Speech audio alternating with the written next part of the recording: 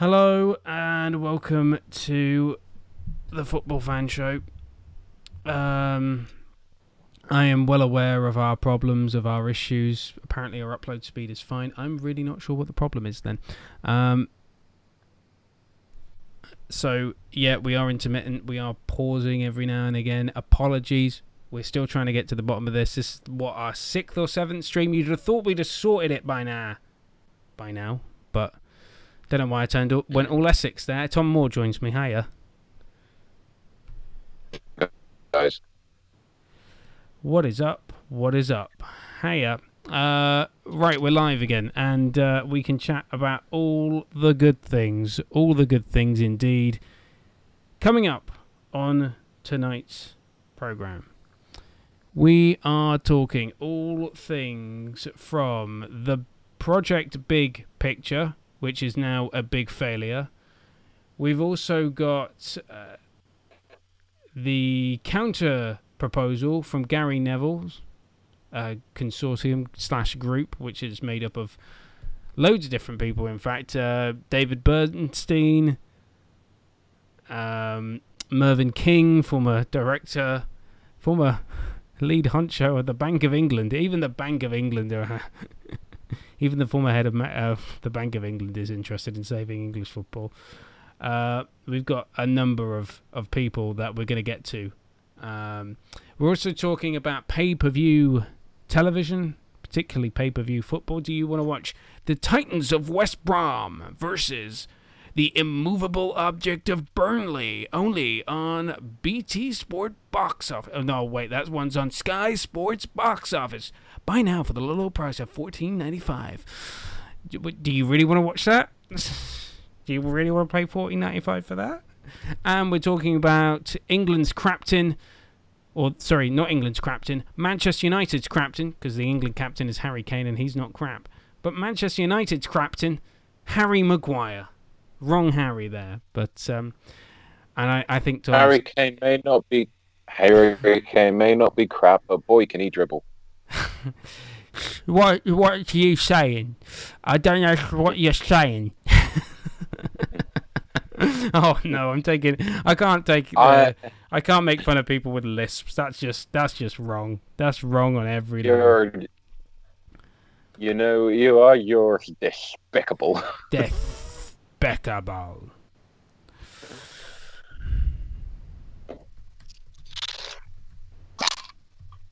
Uh, so our upli uh, anyway, we we have a um obviously we have problems. We we are aware of this. We're going to solve them uh, as we go on. We have a new Skype account.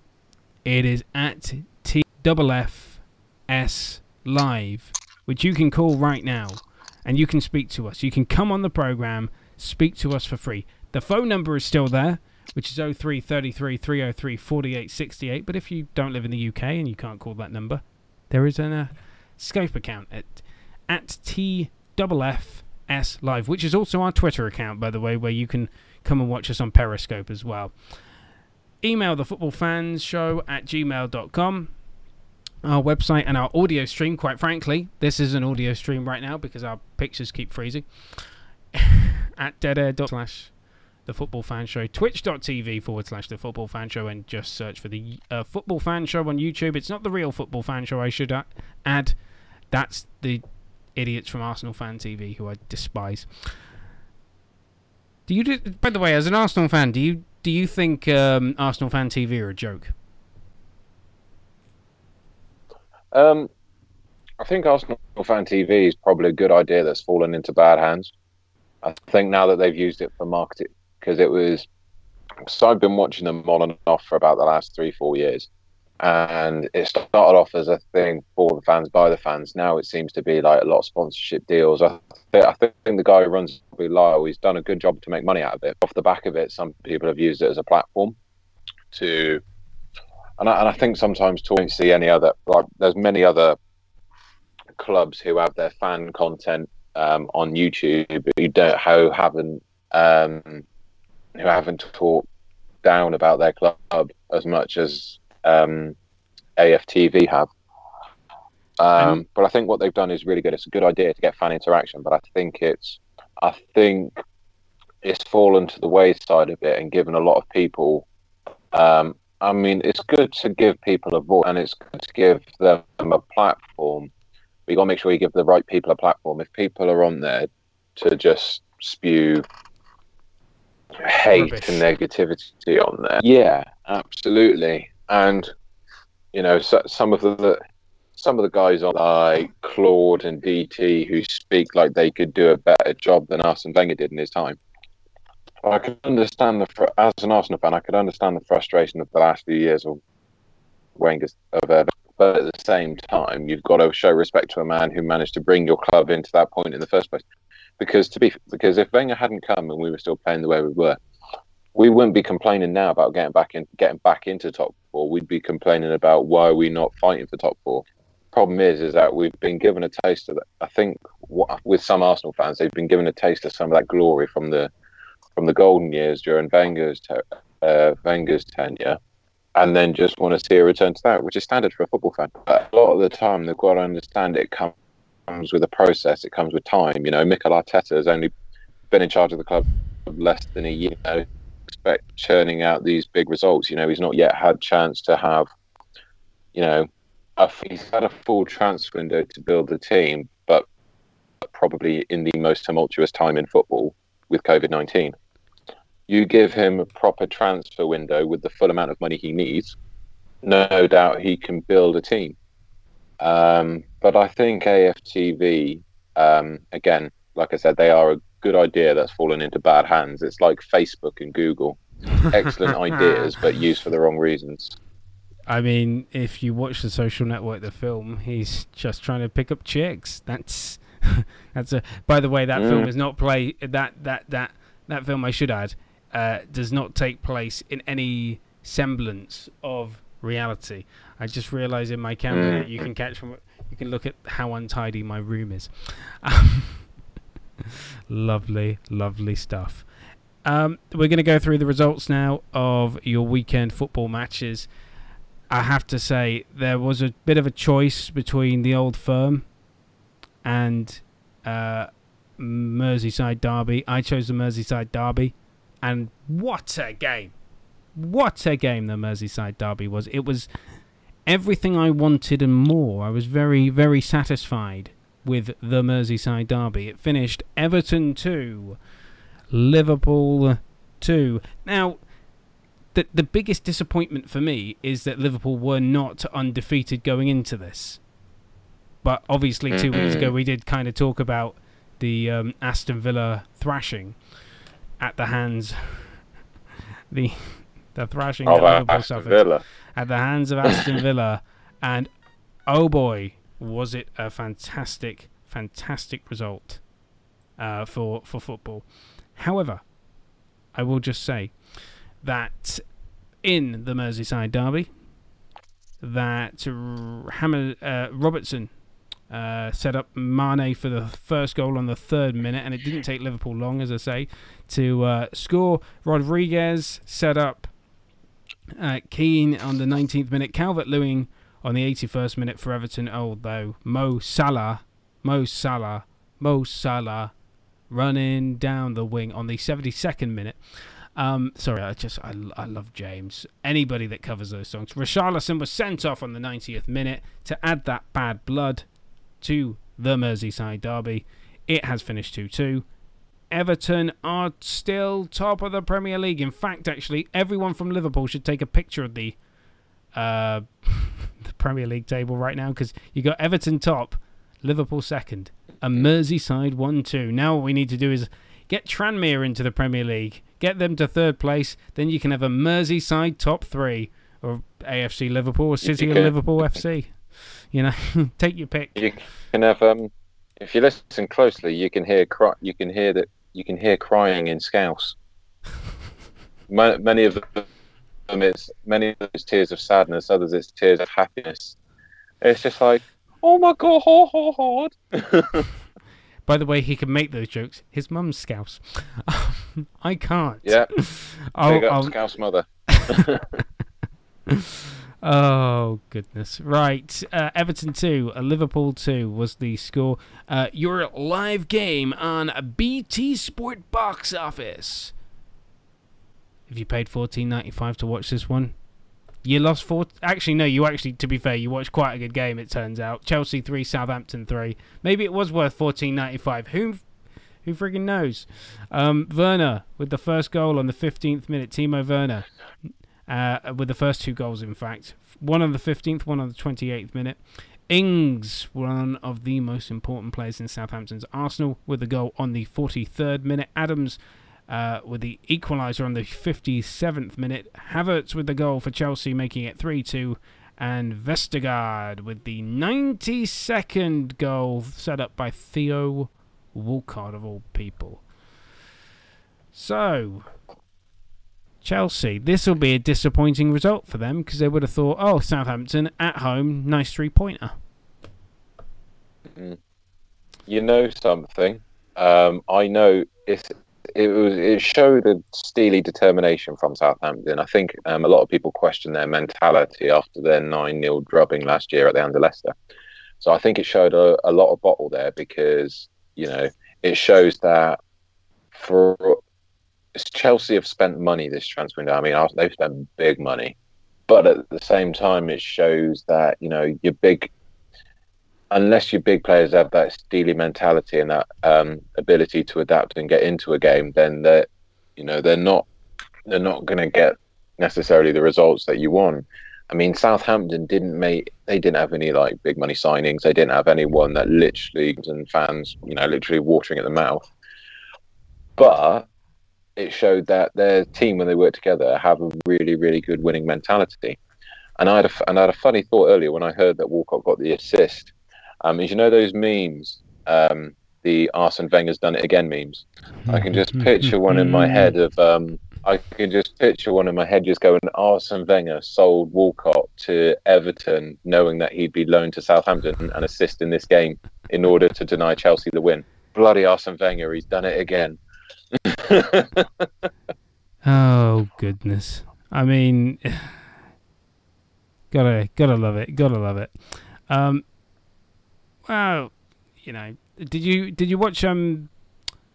Complete side note from this: Did you watch Graham Norton last night? Because uh, Arsene Wenger was on that, and he was talking about Jose Mourinho about that that fisticuffs he got into with Jose. It was f- actually hilarious. Do you know but what? Yes, I didn't. Wa- I didn't watch it, but now that you told me about that, I wish I did. I'm sure I'll catch some highlights at some point. It's uh, it's a good watch. Anyway, uh, enough. Back to the football fan show. Uh, Man City one, Arsenal nil is the final score from that one. Sterling with the only goal of the game of the 23rd minute. The Master beats. Okay, so I have one one issue with this match, and it's not nothing to do with the match at all. It is everything to do with the commentary on this match. Mikel Arteta is somehow Pep Guardiola's apprentice. That Pep Guardiola taught Mikel Arteta everything he knows. And they're painting it as like Mikel Arteta, the lonely lower league player, could never play alongside Man City. He played for bloody Everton and Arsenal, for God's sakes. It's not like he played for Accrington Stanley. Come on, guys. I have no. I think, I think, I, th- I think Arsenal, in every respect, the players, the club, the manager, they always get done dirty. You know, they're always seen as, oh, your years are done. You know, what have you done? You know, if it's everything from the commentators saying, um, or people or fans are saying that you know Arteta put out the cones for Pep. I mean, to be if if that's the case, then if that's a rousing indictment of uh, Arteta's ability, well, then you can say to Pep, FA Cup semi final last year, you got beaten by your kit man. um, and I think, and I think some people look at they, they look at it and they and, and sometimes they make it sound like Arteta didn't have a brain, a footballing brain, before exactly. he started working for Guardiola and what and what you got to realize is that this man came through this came through the Barcelona academy and played for Barcelona B for much of his youth career alongside one Xabi Alonso. Exactly. I mean, Um, I don't get it. They treat him like. Sorry, go on.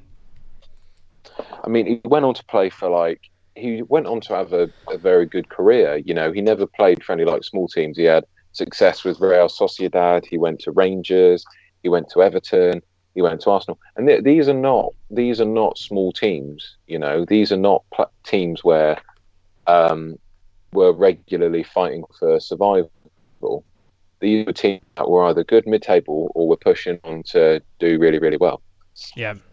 And I think some and I think some people don't give Arteta enough credit for the things that he's done in terms of firstly being able to get get Aubameyang to sign a contract, um, bringing the signings like he has done with Partey and Gabriel, which according to um, several sources said that um, Stan Kroenke put his hand into his own pocket to uh, get the deadline day signing of Partey done. Um, so I think people really do not show Arsenal some of the respect that you know is warranted because they have done some amazing bits given the position they were in this time last year, and a lot of that has to go to Arteta because he's basically using the same crop of players that were bought last year, and he's managed to get the best out of them. Whereas if you look at, whereas the common theme with Guardiola is that he's he's described as the best manager in the world, but the best manager in the world, in my opinion, wouldn't spend four hundred, nearly half a billion pounds on defenders in five years, and still only churn out what a c- couple of a couple of Premier League titles, the odd Carabao Cup, but still no European Championship. You know, if that was Yeah. if that was any if that was any other manager who spent that kind of money and could not get what the ultimate prize in European football, they would have been sacked straight away. If that was someone like Chris I mean, Wilder. if that was someone like, yeah, if that was a Chris Wilder or a, um, a Sam Allardyce, or if that was, imagine if Ole, Gu- imagine if um, Ole Gunnar Solskjaer spent that kind of money. Eh, you know, people- does. don't, I don't think your argument's very strong with that one. No, but the fact is, is that, but then again, it just it just goes to show he spent that money, but they're calling for his head. Guardiola spent probably double that, and people still worship the ground he walks on. Yeah, that's that's that's true. Um, that is So true. It's it's a it's a double standard. It's like as soon as you throw a name into the conversation, you have to talk about the accomplishments. But with other names you throw into the conversation, you talk about their shortcomings. I mean, Man City, they wanted to since they've since they've had their been gunning for the Champions League, but every single manager before them has not been able to accomplish it. You know, Mal- Pellegrini and Mancini accomplished more, I'd say, with the City side that they have than Guardiola has achieved with this City side. But yeah, Mancini, think that's fair. Mancini and Pellegrini don't get a mention. You know, no, it's easy. It's easy to. It's easy to say Guardiola. It's easy to say Guardiola is the best coach in the world, but it's but at the same time, when hi his coaching resume says Barcelona, Bayern Munich, and Man City, the good thing is is that when you have unlimited oil wealth and some of the best facilities and players that money can buy behind you, it's easy to look the best. You know, if you look at if you look at Pellegrini, he man- he was manager of Porto, I think, and he managed to make them one of the better teams in Portugal. But Porto aren't known to be massive spenders. If anything, they're known for quite. They have quite a decent youth academy. Same with Benfica and a lot of those other teams around Europe.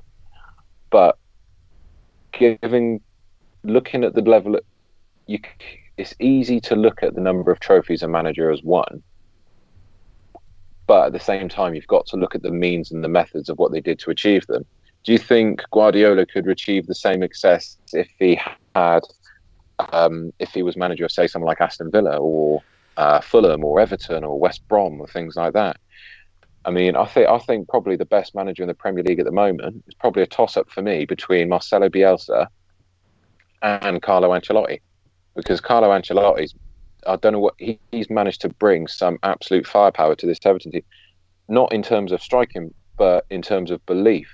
You look at Dominic Calvert-Lewin. You know, he was a couple of seasons ago. He was struggling Mm. to knock, knock goals in. Now he is the highest scorer across the top five leagues. You know, he's, you know, the only time during England's two games when they played Belgium and Denmark, the only time where England looked genuinely threatening or really good on the attack is when they had Calvert Lewin at the front. Yeah. But that's because that's because England's style is more negative, and that kind of suits Harry Kane. Whereas pressing on, uh, pressing on the players. I mean, that front three when they played against um, who? It was um no, who was it? Day where um when Dominic Calvert Lewin scored, they were playing Wales. When they were playing Wales, yeah, it was Wales. Yeah. that that that front three, Grealish, Dominic Calvert Lewin, and Danny Ings, they were they were players that were hungry. They wanted to fight. They wanted to fight. They were taking, they weren't taking pot shots. They were creating really really good chances. But then when you see the the supposed superstar players come into the England setup, so on paper, look at it. When you say your front three is Sterling, Kane, and Jaden Sancho, Yeah. literally makes literally makes every football fan, you know, make a mess in their trousers. But when you see it on the pitch and you see how negatively they play, for me, international football's a snorefest. I tend to switch off from football whenever there's an international break on. See, I, I, I love, I do, I do genuinely love international football, but, um, watching England is should come with a health warning before every game, that uh, heartbreak is guaranteed. Uh, I, Oh yeah, I do remember, like when we were kids, England were it was the golden generation, but they were absolutely rubbish. Like they couldn't play together. Mhm. Um, which I, I Mhm. always they they always said, oh, you know, it's all about uh, you know the fact that we play for rival clubs. You know, Mhm. we you know we're all enemies on the pitch, and I'm like, no, that is the biggest load of rubbish. Is the best word I'm allowed to. Um, if you look at if you want if you want an example, let's take El Clasico in Spain. Sergio Ramos and Gerard Piqué are on opposite sides of two of the biggest cl- clubs in Spain and if not the world. Yet to? Yeah, during their World Cup winning year, their World Cup winning year with Spain and the subsequent seasons before that, playing for Spain, they were the most dominant defensive pairing on the planet. If you rewind back to 2009, 2010, and you're an attacker and you're saying, all right, you're going to be marked by either a, uh, Ramos or Piqué, chances are, as an attacker, you'd shit yourself. Apologies for the language. don't Uh, worry. um, Um, no but, at the swearing. but at the same, yeah.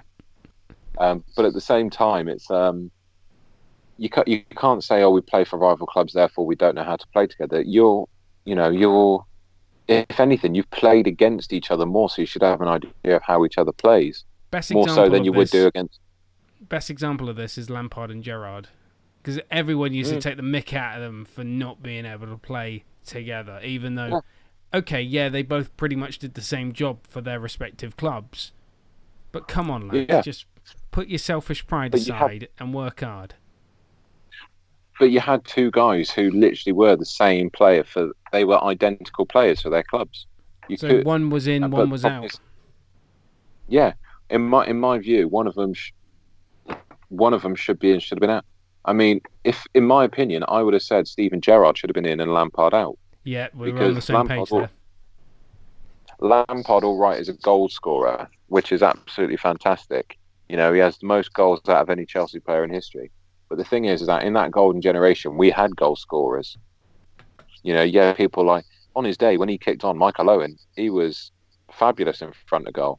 People like uh, Michael Owen, Beckham could smash a free kick in. So, I'm uns- I'm unsure as to why they play them together. We shall never know. But in my view, Gerrard does more of the spade work. He likes to get stuck in. He'll run at people, you know. He may not get all the goals, but that's what your strikers are for. But he'll put that spade work in. He'll come forward, but he'll also protect that back four. Uh, um, if if you've noticed something, and this, and this is something that's just cropped up in my mind, if you notice something, that was England's supposed golden generation between like 1999 and 2002, 2003. Have I you mean, noticed it- the golden You'd really generation? extend it. Sorry to interrupt, but you'd probably extend it to about 2007, 2008 with Rooney and and that lot. So Ah, yeah, but when you when you look at that, then so if you go to like 2008, nine, and ten, and you look who we had in the squad, 2010 World, um, I think it was what was it, the 2010 World Cup? uh, yeah, goalkeeper David. Yeah, goalkeeper David James. In that game against Germany. I remember I'm Joe Hart making a mistake. Rob Green making a mistake. Sorry. Um, yeah, Rob Green making a mistake. He wasn't a very good goalkeeper. Joe Hart. Where am I? Um, I Which think World was- 2006 was David James's World Cup. Yeah, 2006. No, Germany two- 2006 he played. Um, No, 2006 was Paul Robinson because that's when um we went out on penalties to Portugal. When um, Rooney got sent off for standing on uh, Carvalho's groin, oh yeah, and Cristiano Ronaldo. That- Uh, doing the cheeky wink. But cheeky wink from what I was Ronaldo. is, um, but then again, looking in that game, we lost against Germany four-one in that tournament. You know, we had a good attack with people like Rooney, but nothing, nothing behind that. You know, it was. I mean, who was our defense? We had David James in goal. For some reason, Matthew Upson was in our defense. We had Paul Konchesky and things like that. Oh, know. Paul Konchesky, I remember that. But these uh, these players that don't these players that don't grab any names at all. But um, what my original point was, if you've noticed that every single during this time, and this is the same around the world for any club, if you've noticed that every single country has a golden age of players, like what players are quite fashionable to get, or which players become expensive. hmm, So between 1999 and I'd say 2007, you know, well, 1999 to 2002, it's quite fash. It was quite a big thing to have an English player on board. hmm. After the 2002 World Cup, every decent team in Europe had a Brazilian player in it. You know, Oh, yeah. you know, like you, know, you had like a like AC Milan in Europe when they had people like Cafu and Rivaldo.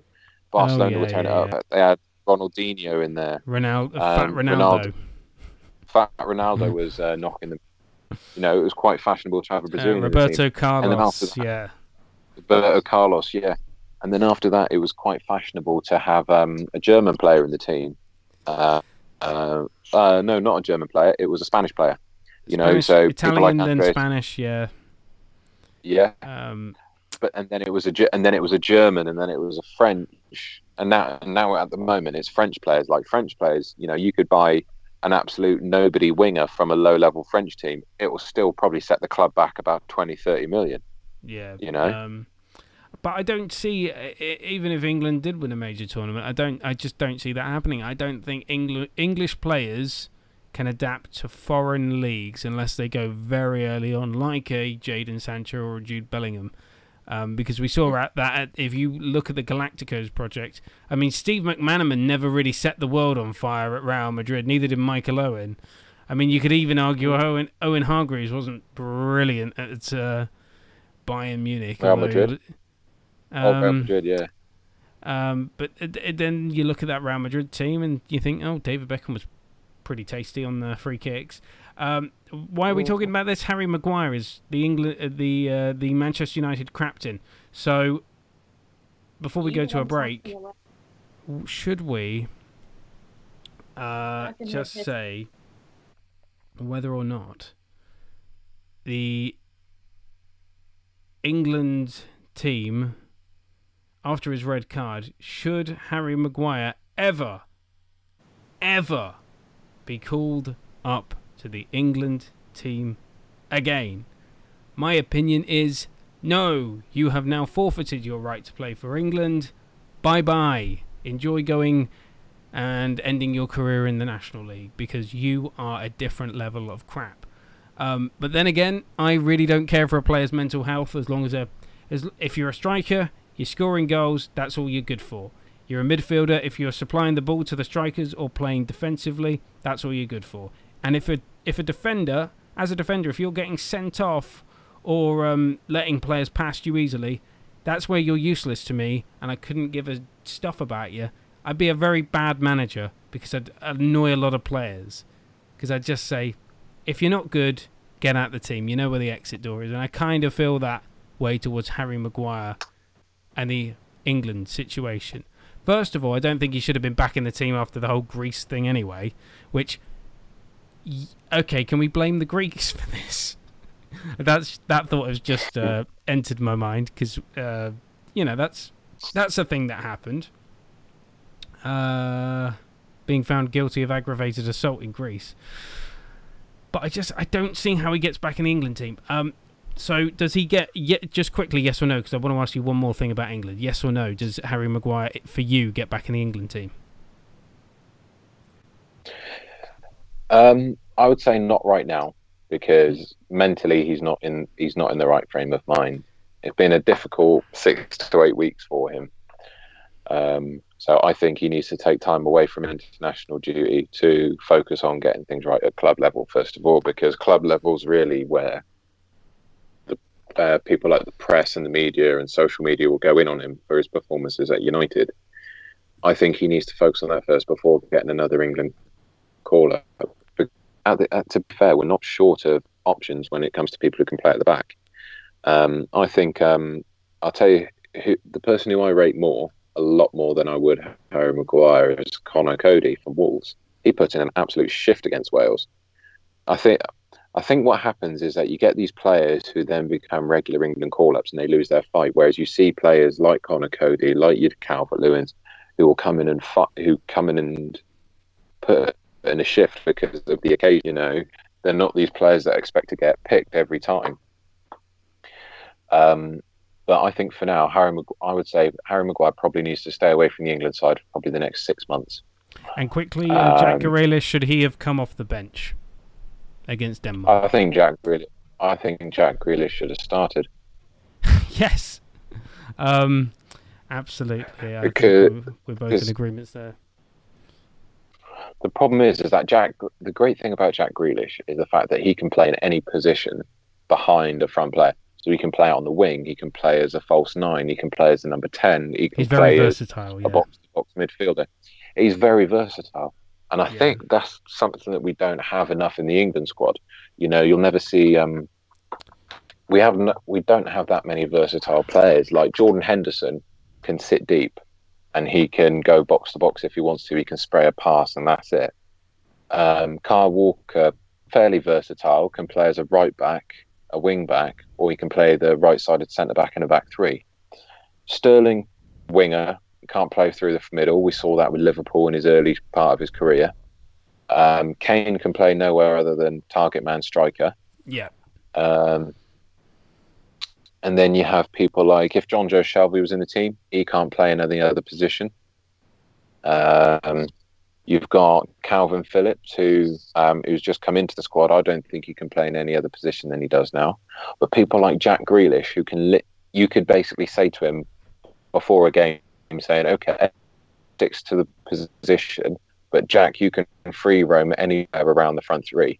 You can free roam around there. You can swap with Sterling. You can swap with Ings. You can make darting runs. You can come deep, receive the ball, and you can carry it. People, you can do that with Jack Grealish and I think that's a creativity that England need because there's no versatile. There, there are no versatile players in that England squad apart from I would say Jack Grealish probably being the big standout one.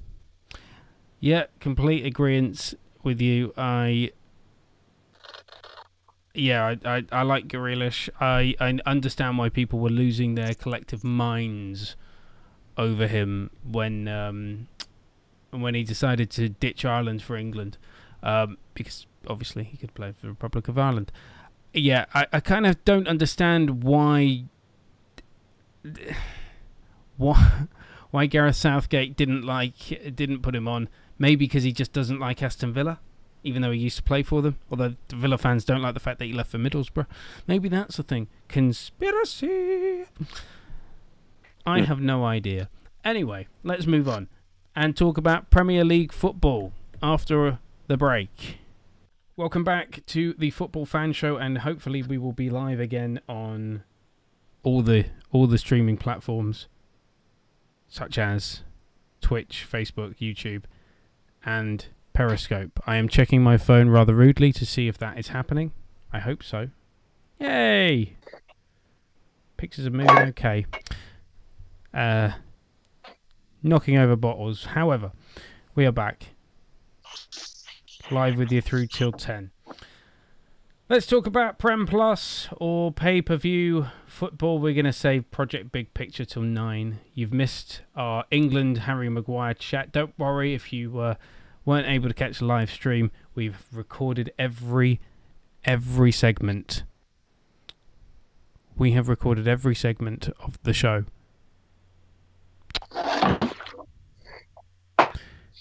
And this, and I forgot to hit record on this one. So this one is now recording as well. Um, every segment is being recorded. You can go watch them on our YouTube channel as well. Uh, football, and it is pay per view football. By the way, it's Newcastle United one, uh, Manchester United nil. Completely forgot about this match because normally it would be on TV, but the Premier League clubs elected, voted in their infinite wisdom. I feel like I had to do like a Saki Saki announcer voice then. In their infinite wisdom, infinite wisdom, to put all the Premier League matches behind a paywall.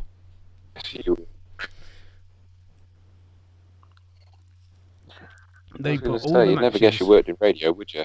No, absolutely not. Uh, they put all the matches behind. Um, they've put them, the ones that shouldn't be on TV. They've now put behind a paywall. Uh, £14.95 to buy them from either Sky Sports box office or BT Sport box office. And did you did you know that there is a precedent for this, Tom? Um, there is a. I mean, I can understand their reason for doing it. I mean, I can understand their reason for doing it. They've got to, the clubs have got to find a way to make the money that they lost from, you know, no ticket money. But, uh, um, well, well, Sky have tried this in the past with a channel called Prem Plus, which was active from 2001 Yes, it. yes, no, it didn't. It did not go down well.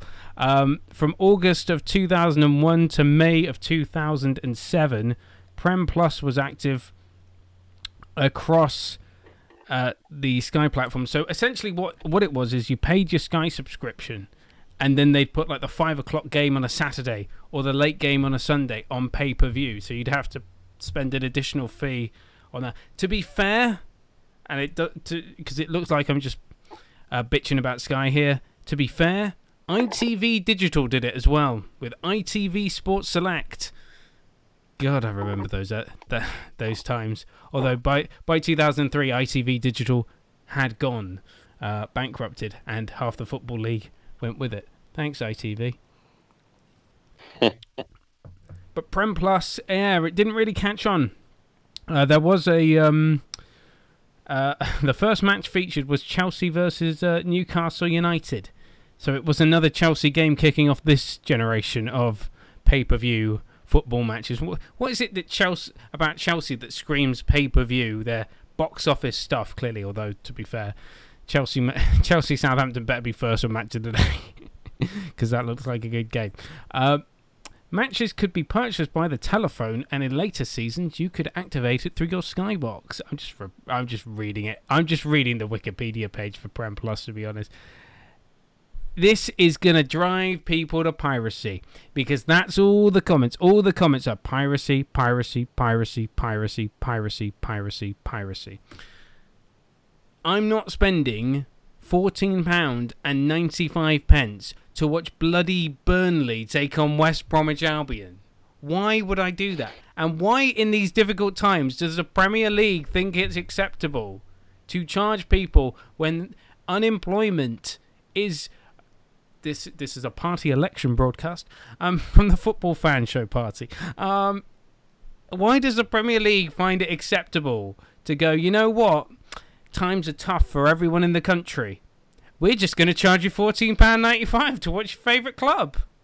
How much do I follow, by the way? Because um, I EFL I follow charges, but they don't charge that much to for you to stream stream um, matches. How much is it? Uh, I follow is ten pounds for a match pass, so you can. Uh, I think it's ten pounds to watch it, and then it. I think you can have five pounds for an audio pass, so you can listen to it like you would on the radio. but then again, that defeats the purpose because then you could just flick onto the appropriate radio station if you live locally. Yeah. So BBC Wiltshire. Um, although they're all going to get cut very soon. Uh, I would say that the kind of the the the the testicular fortitude of the Premier League. The only there was only one club that voted against this, and this is where they get praise. Leicester City, Leicester voted against it. The People's Club. Soon they'll have like the Soviet Union national anthem playing before Champions League matches. uh, picture of Karl Marx replacing the uh, fox. The People's Club.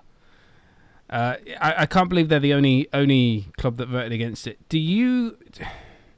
Because you've said you understand why they're doing it. I'm I'm of the opposite opinion. I can't understand why why they're doing it. I think the Premier League should take it on the chin and just accept. They're going to lose money, but they're going to survive. The National League is going to lose money. They might not survive. League Two is going to lose money. They probably won't survive. League One's going to lose money, and we know. Uh, you and I know a, a particular team in League One that we both care about. Hopefully that team will survive, but League One will take a a, a beating. Maybe the Championship will be all right, but come on, the Premier League that is just callous. That is just callous money grabbers from the idiots that brought you Project Big Picture as well, which we'll get onto later. But come on, what you, you put put me down if you want, but I, that is my arrogant opinion.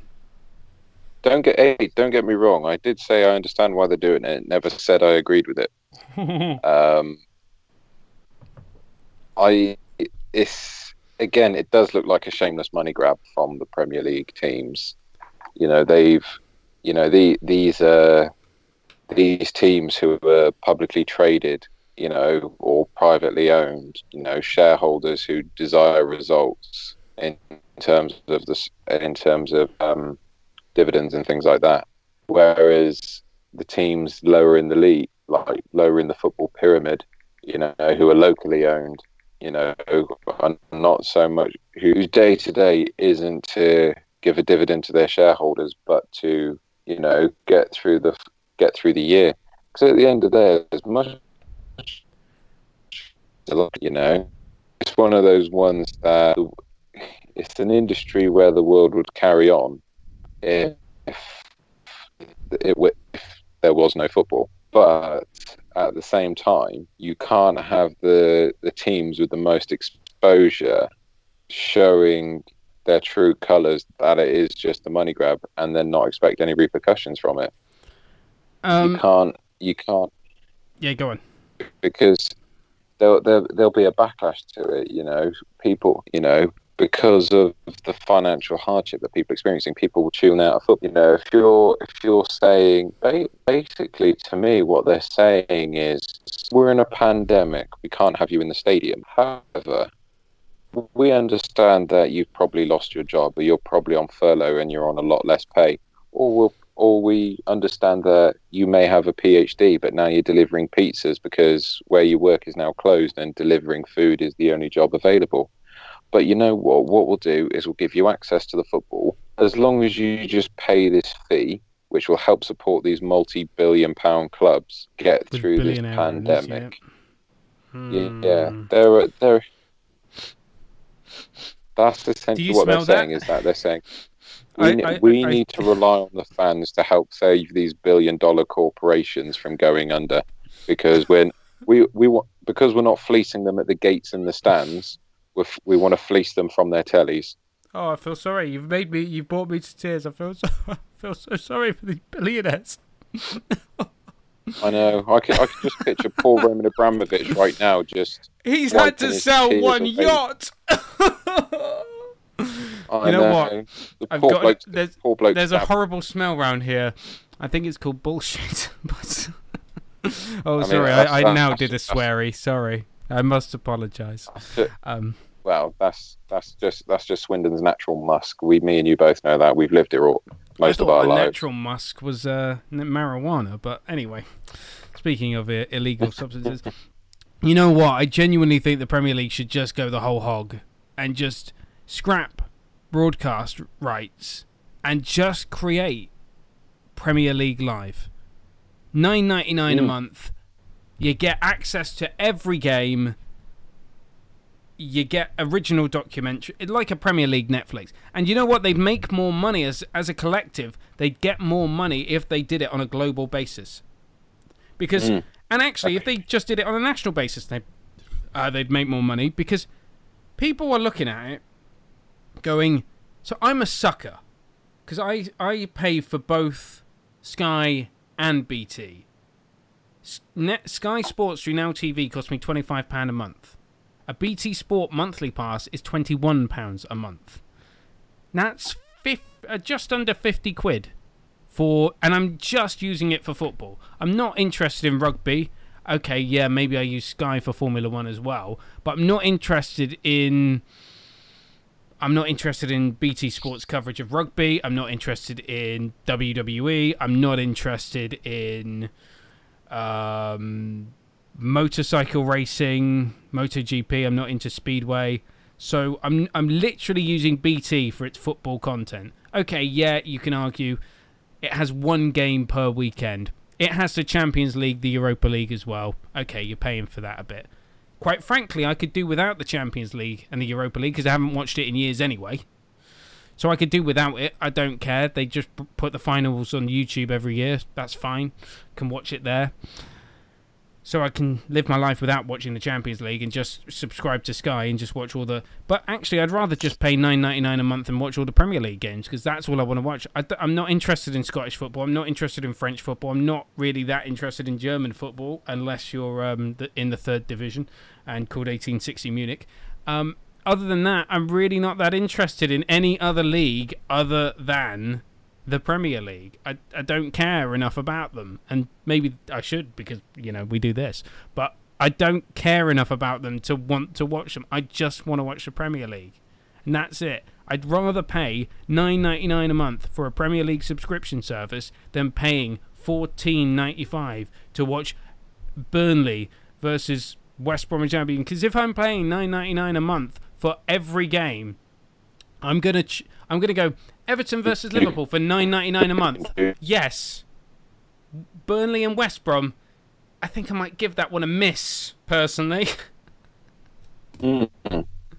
The th- the thing is, the see, it sounds to me somewhat someone's taken an idea from the WWE network. I think, you know, I think that's a great example. Do you, I th- do you know I think? What they sh- what would be ideal is if they had a monthly subscription service for, uh, f- not just for each of the sports that people like. So let's say they have Sky Sports Rugby, Sky Sports Cricket, Sky Sports Golf, Sky Sports um, football, Do you want me to and list things like that? And list off every Right. channel they've had? So they've got news, main event, which is uh, kind, yeah, kind of uh, all-encompassing. Sky Sports Premier League, Sky Sports Cricket, Sky Sports NFL now, Sky Sports F1, which becomes Sky Sports Darts over Christmas. Don't ask me why.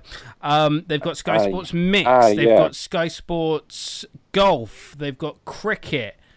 Um, it's insane the amount of channels you get. And by the way, I can watch them all on a Now TV pass. Please sponsor us, Now TV. Um, I can watch them all. I'm just not interested in any of them. I'm is what you could do with the monthly subscription service that you mentioned. Do it nine ninety nine a month for um because then people can pick and choose the sports that they follow. You know, someone's not going to pay if you make it all encompassing. Say nine ninety nine a month, you get all the Sky Sports bits. People are not going to pay nine ninety nine if they follow probably one if they follow one sixteenth of the sports that is are on offer. You know, you're not going to pay the full whack nine ninety nine. So make it individual ones. So make package ones. So you could say um, nine ninety nine a month. You get football, rugby, cricket. You know, give it give them the t- like the sports where England tend to do well sometimes. Um, and then you can have like additional passes, like um, you know, someone who just follows basketball and NFL are not going to want and all are not going to see. They're not going to pay nine ninety nine if it comes with all the other sports as well. because then they're thinking they're paying extra for things they for something they won't use. Whereas if they can pay for something that is basically just what they want, it's like like WWE's one. They have the WWE Network nine ninety nine a month. People people go to WWE for wrestling content. They go for matches and they go for bits out like behind the scenes. That's literally all they want, and the network gives them to them, and that's why WWE saw a massive rise in the people subscribing to the network. Sky Sports, I think, needs to adopt a similar thing. You're basic, uh, yeah. if you think, if you think how many people have subscribed to, how many how many people during this time of the pandemic do you think have signed up to Netflix? Oh, loads. But, but before, okay, so I need to interrupt you and say I'm not laughing be, uh, at what you're saying. I'm laughing at who has scored the Manchester United equaliser. Do you want to have Let me guess? guess. Was it a Bruno Fernandes? It's a Bruno Fernandes penalty. Nope. we were talking about him earlier. oh, was it Harry Maguire? yes. The 23rd Okay, minute. Wow. Harry Maguire. And we were talking about the Manchester United Crapton hashtag Manchester United Crapton. Um, I think I'm going to put it on a T-shirt. Although if he's cost loads of penalties, why did you get sent off for England? Uh, sorry, that was that is why I was laughing. I was not laughing at what you were saying. I just saw Harry Maguire had scored on the 23rd minute and was just like, what? what? Um, he was assisted by Oh, one crap- matter. Oh, craptin. Oh, crapped in my craptin. Say, oh, craptin, my craptin. Well, maybe not so craptin. um, yeah, but the point I was trying to make. ugly. Oh yeah. Um, the point I was trying to make is that actually Premier League revenue, individual club revenue, would go up if they just charged a flat fee of nine ninety nine, and I think you would get a lot more casual, uh, casual fans that way, because then they'll say, "Oh, I could spend twenty five quid on both." Sky Sports and, and BT Sport, and to be fair, the only reason I subscribe to both is both is because I do this. Um, weirdly, I never used to actually like football. Um, but if you offered all the games for a low, low price of like nine ninety nine for something, you could imagine.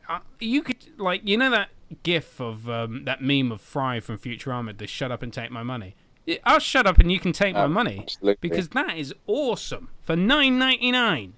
I would pay Yeah. and it doesn't even have to have original content. You know, you don't have to do the Premier League review or anything or any documentaries like that. I just watch the football on there or the Premier League year. Although that's a Sky thing, the Premier League years. Although if they did their own version of that, I'd probably watch that. Definitely. Uh, let's let's um let's look at it this way then. So, and it's it's a blatant. You can tell it's a blatant cash grab. So if you do the math, so let's say for argument's sake you're paying fifteen. So it's fourteen ninety nine, but we'll round it up to fifteen for argument's sake. So if one person follows one team and their all their team's games are on the pay per view, so in one month, team will play on average five six games. Yeah. Mm. Um, so what that means then is what the team will then pay. Someone will pay fifteen pounds a game. That would be about what seventy-five pounds a month just watching football. You You know, wouldn't- spend you spending more than what spending more on. You're spending more money watching football than you would do on your water bill or some people's council tax even you're basically asking, saying, okay, if you want to watch the football, these games that you, you want to watch, you've got to pay us this money. And it's a big drop in the water. And that works out, you know, if it's seven, roughly £75 a month, that at the end of it all, once you once you factor that £75 a month, that would be around about what nine hundred pounds a year just on watching football. Nine hundred pounds a year. You know what But really annoys people- me? Uh, For, Mm. for fifteen, f sorry, for for fourteen ninety five, you can watch one Premier League game. For fifteen quid in Canada, you can buy DAZN and stream every Premier League game per month live. mm. So Yeah. just get a um, just get one of those um IPVanish things. Switch your IP address to Canada, pay for DAZN, There you go. 15 quid a month. You can watch every Premier League game. Don't. By the way, don't take up that advice. It's very illegal. But just do it. let's let's flip it the other let's flip it the other way then. Let's look at um, how much money they could make out of the fans doing the nine ninety nine a month uh, subscription service. Let's say so that means by by and large the, the majority of fans won't pay fourteen ninety five every time to watch a game. Only the people who have got the income to do so would do that, or if their team's playing at the moment, the way they're doing it is they're having one game a day, one game a day on that paper on that pay per view service, and you're going to have some fans tune in, some fans not. For nine, that means that you you're potentially alienating a lot of your fan base because a lot of people, you know, time's tough and money's an es- and um, football's an escape Mm. and money's money's an object, money's tight. You know, I mean, if you look at say, let's take Swindon Town for example. None of the Swindon Town fans are millionaires. They go there for the experience. It's an escape. But I as soon don't as you know. start I'm charging, quite for- well off. no, I don't Um, really. Sorry. but uh, yeah, Just for a cheap joke. um, but the, yeah, absolutely. But the um, the flip side of it is, as soon as you introduce it at nine ninety nine, it has the same mentality as Netflix. People pay the nine ninety nine a month because sometimes they want to binge watch. They'll binge watch stuff on Netflix. They'll go through entire seasons. If you put games like that on there, then they can go through highlights, show their mates. People who miss live matches because they're either working or doing something can go back and revisit that game later on. You know, finish watching it later on because they've got that subscription. Take it if you th- take um, all those fans. Say the average attendance of a stadium's what thirty thousand. If you've got thirty thousand people paying nine ninety nine, or let's say ten pounds a month, from those thirty thousand people, so from the rough average of a full stadium in the Premier League, thirty thousand people paying a tenner a month. That's three hundred thousand pounds you've made in one month from the spectatorship of one small club, a small Premier League club. yeah. And then when you get more of the cash, and then when you start getting more of the casual fans in who will start to sign up to see what's on offer, to see what it's all about, that's where you make extra money. You know, if you can get a hundred, a hundred thousand people signed up to one for one month, that gives you a million pounds a month. Makes economic sense to do it that way, doesn't it? Yeah. Um, and even though I, I'd like to point this out, they have a Premier League app that I have on my phone, the PL app. It has the Premier League logo and everything. It is just easy to just add a subscription fee for, to that and say, okay, nine ninety nine. You can watch all the games. You can watch it in all the angles. Listen to whatever pundit you want. Don't hire Robbie Savage. Um, in fact, actually, and even wa- and and even whilst even whilst you're doing that, what an amazing thing would be would Paddy's link that with the fantasy football league, so you can watch in live time the stock value of your player in your fantasy league go up or down. that actually would be that is that is something I hadn't actually thought of. Well done. That is a fantastic idea.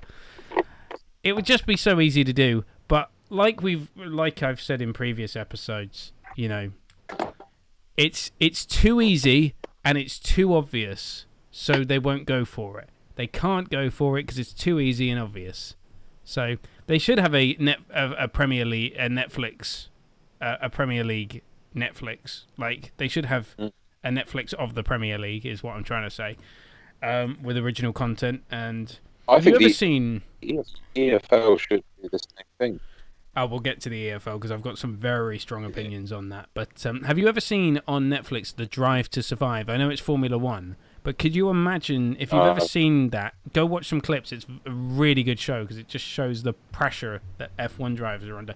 Could you imagine instead of All or Nothing, where it's just a puff piece about Tottenham, that you actually get a, like a live feed into the dressing room at half time or something, so you can watch, say, Chris Wilder give his team talks or something like that. I know that's incredibly intrusive into a manager's um, working, but quite frankly, most of it is known anyway by the fans. So why not Yeah. do that and go that extra mile and give the fans See, I'd love. th- that more in depth? Mic up the referees as well and the officials, so we understand. Maybe we can talk to them during, like, maybe the That's- commentator can talk to them during a match and just say, "Well, you made this decision. You decided to give that as a- offside. What, what did you notice or something?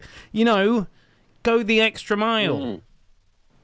Mike, I would, I agree. Mic up the referees to see what's saying or being, not necessarily mic them up during the, but I would say mic up the VAR official. Oh yes, yes. Mic up the VAR if you're going official. to keep VAR, if you're going to keep VAR, you need to make it as transparent as possible, and you need to mic up the assistant in there. You, I would either that give give give the commentators a direct feed to the VAR assistant as to what decision they're going to make.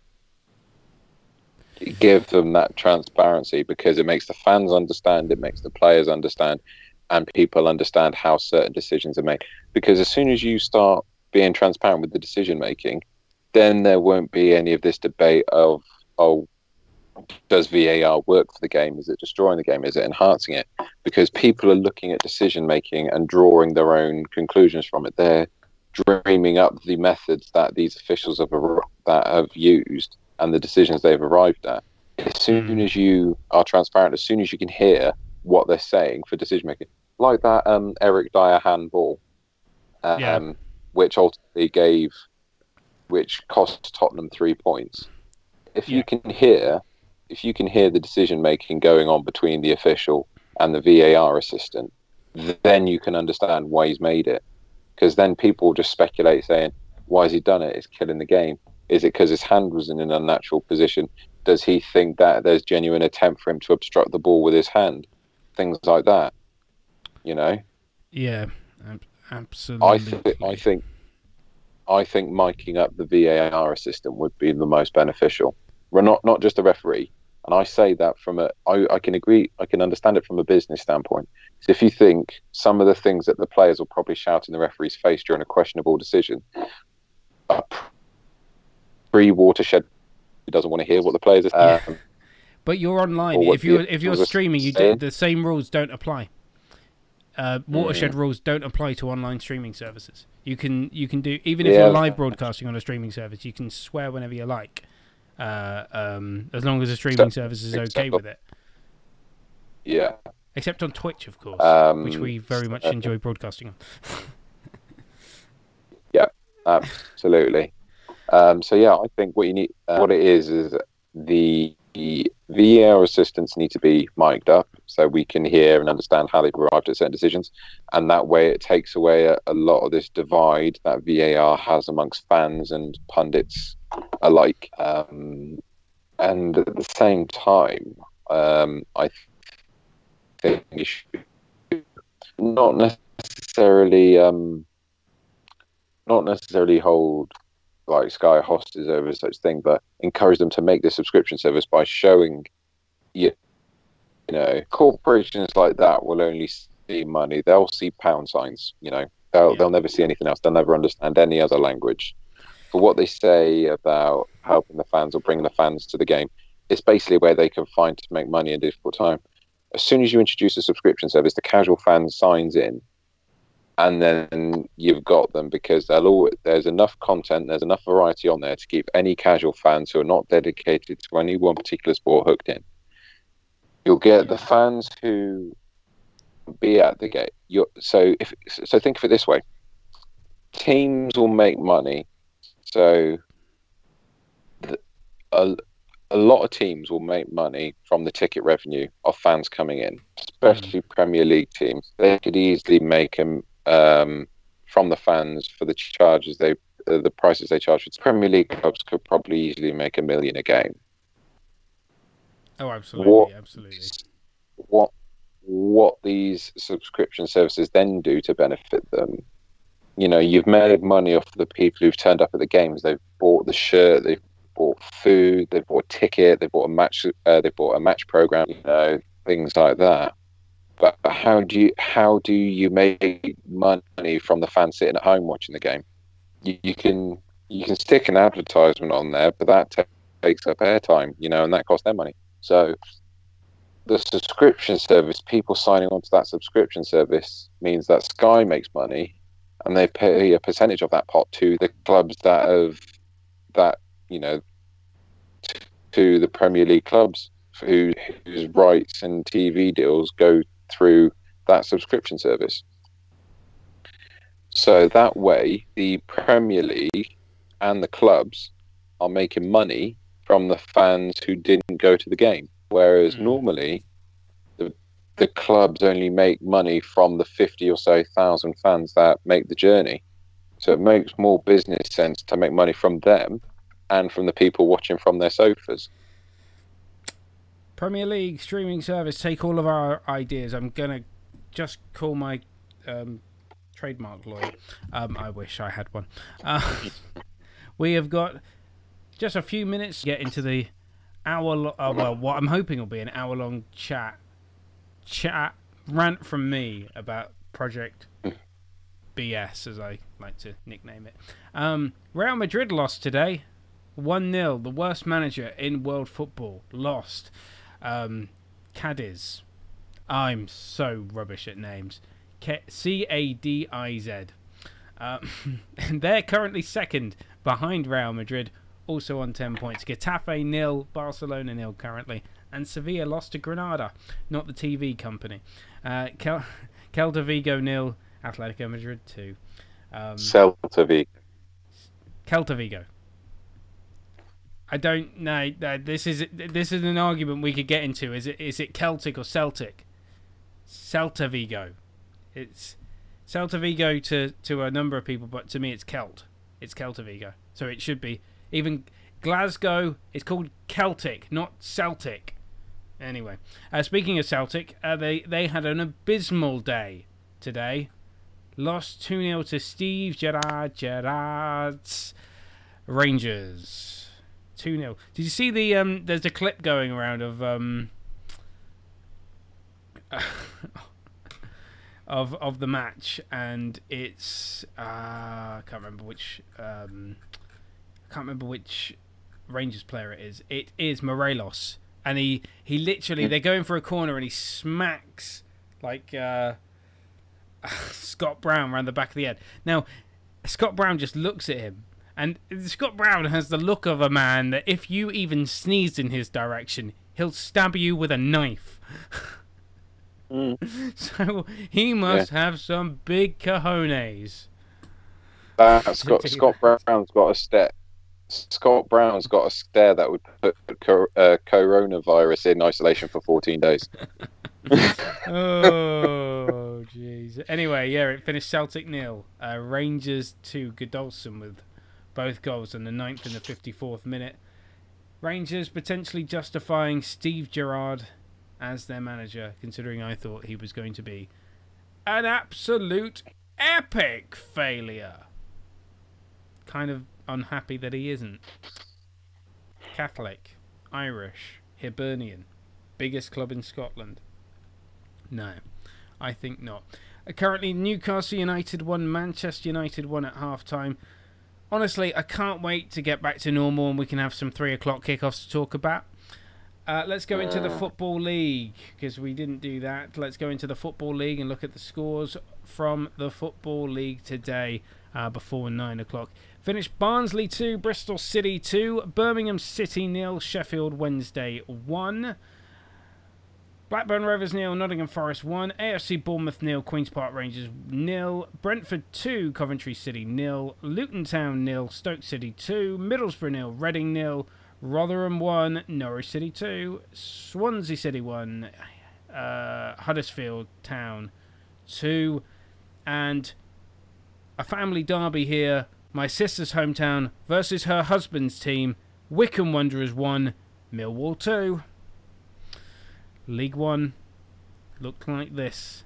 Uh, Milton Keynes Dons 2, Gillingham nil, AFC Wimbledon nil, Shrewsbury Town 1, Bristol Rovers 1, Burton Albion 1, Charlton Athletic 1, Wigan Athletic nil, Crewe Alexandra 1, Blackpool 1, Fleetwood Town nil, Lincoln City nil, Ipswich Town 2, Accrington Stanley nil, Peterborough United 2, the worst team in England nil, Oxford United, uh, Plymouth Argyle 2, Northampton Town 1, uh, Portsmouth nil, Doncaster Rovers 1, Rochdale nil, Hull City 3, Swindon Town nil, Sunderland 2. Sorry, should, should I say that one louder? Swindon Town nil, Sunderland 2. Okay, let's move on. League 2. Uh, Bolton Wanderers 1, uh, Oldham Athletic 2, Carlisle United 3, Colchester United 2. Uh, so Bolton Wanderers 1, Oldham Athletic 2. Uh, Carlisle United 3, Colchester United 2, Crawley Town 4, Morecambe nil, Forest Green Rovers 1, Stevenage nil, Harrogate Town one first home game for Harrogate. They've been playing in Doncaster, but they've now started playing at their own ground again. Harrogate because they had AstroTurf and they've now got grass. Harrogate Town 1, Barrow nil of the two teams that came up from the National League last season. Mansfield 1, Bradford City 3, Newport County 1, Tranmere Rovers nil, Port Vale 1, Salford City nil, Scunthorpe United nil, Cambridge United 5. Jeez, that's a thrashing. Walsall nil, Exeter City nil, and Leyton Orient 2, Grimsby Town 3. The National League looked like this Altrincham versus Bromley, pers match postponed. Barnet and Hartlepool United, match postponed. Dagenham and Redbridge nil, Yeovil Town nil, Eastleigh 2, Aldershot Town 2, Notts County 2, Maidenhead United 3. Get in there, my mum's team. She doesn't care about them. I'm trying to get her to be a fan. Solihull Moors 1, Boreham Wood nil, Torquay United 2, Dover Athletic nil, Wealdstone 4, Wrexham. Wrexham go and give it to you. 3, uh, unfortunately, Ryan Reynolds won't be happy with that one. Weymouth 2, Kings Lynn Town 1, Woking nil, FC Halifax Town nil, and Chesterfield 1, Stockport County 2. I could go on into the National League North and South, but no, that is where we end it. We're going to go for a break. We're going to come back and talk about the big picture and how bad it is. Welcome back to the Football Fan Show, and uh, it's time for the final bit of the show. Uh, we're talking about Project Big Picture, which is a Project Big deaded because it's gone, it's done, it's over. It's not going to get through, but we're still going to talk about it anyway because why not? I suppose we have to um, work out first what Project Big Picture was in the first place. So, what was it? It was the idea that Football League clubs could get a bailout by essentially handing power over to six teams, i.e., Liverpool, Manchester United, Chelsea, Arsenal, Spurs, Man City. Why they didn't include Everton in that, I have no idea.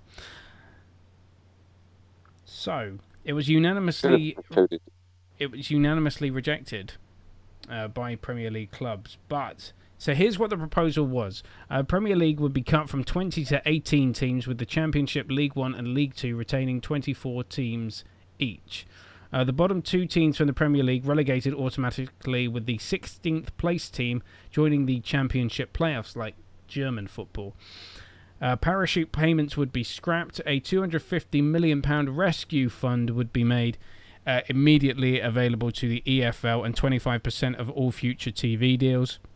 Um, 100 million pound paid to the Football Association to, Association to make up for the lost revenue, and uh, nine clubs given special voting rights based on their long term um, in the Premier League.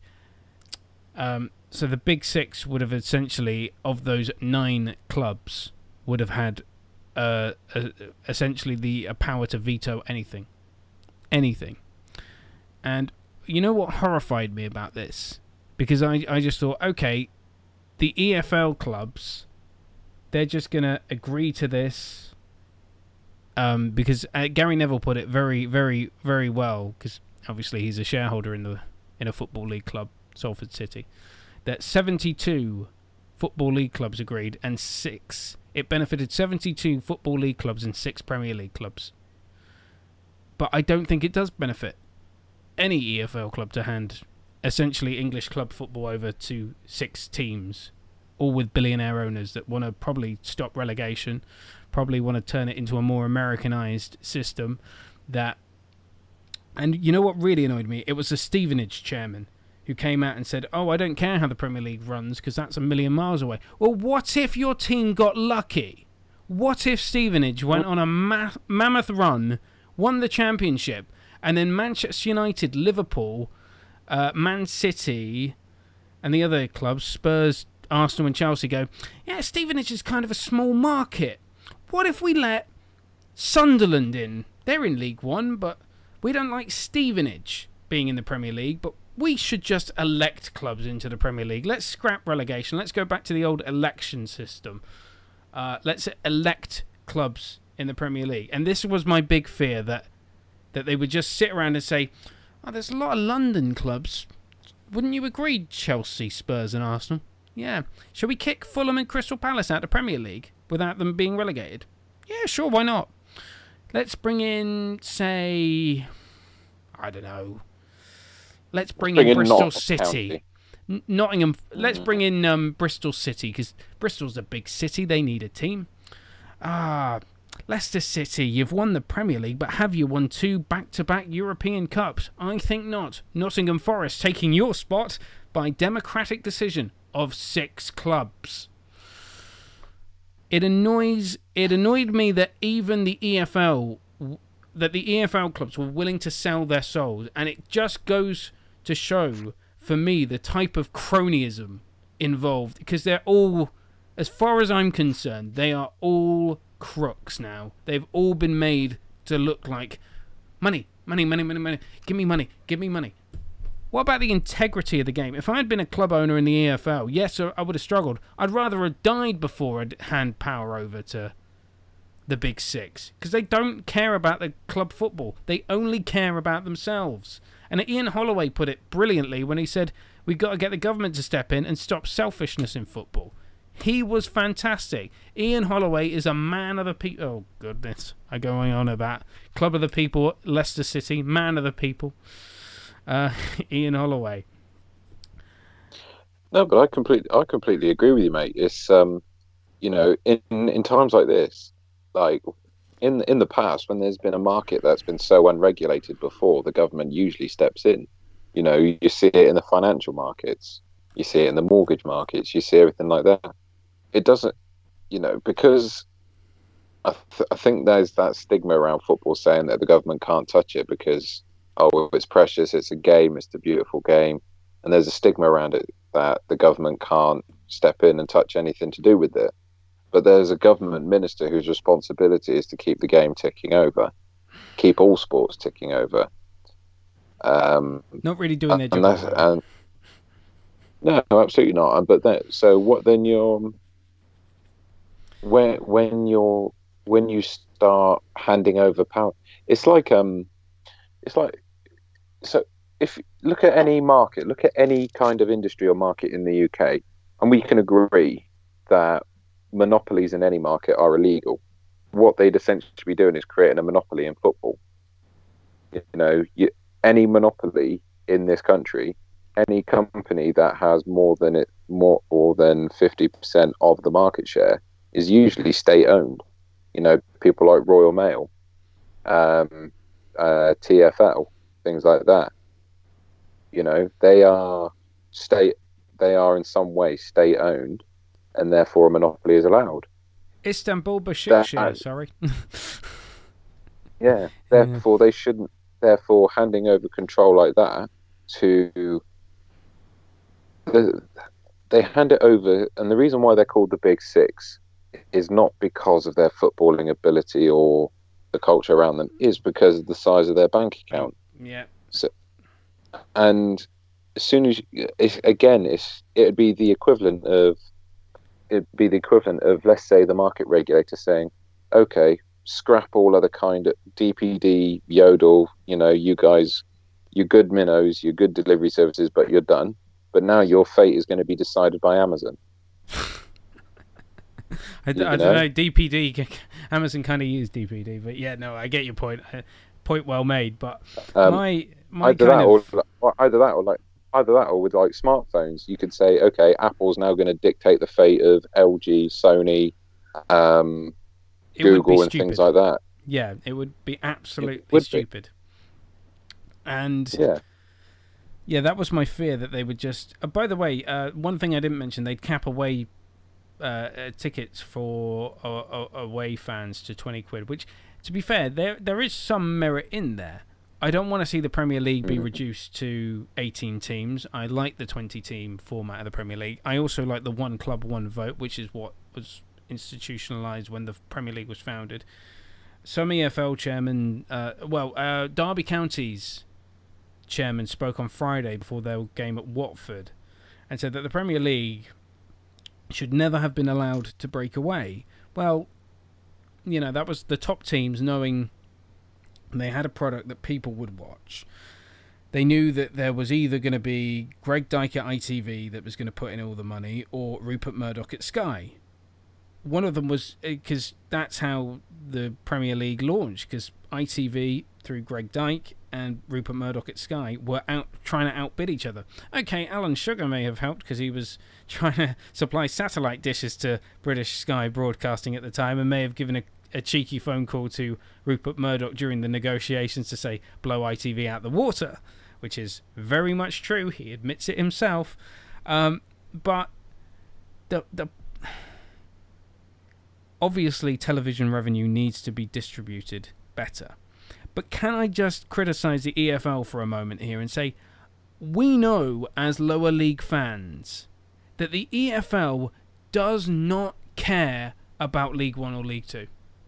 Their cash cow is a championship and frankly they don't care about League 1 and League 2.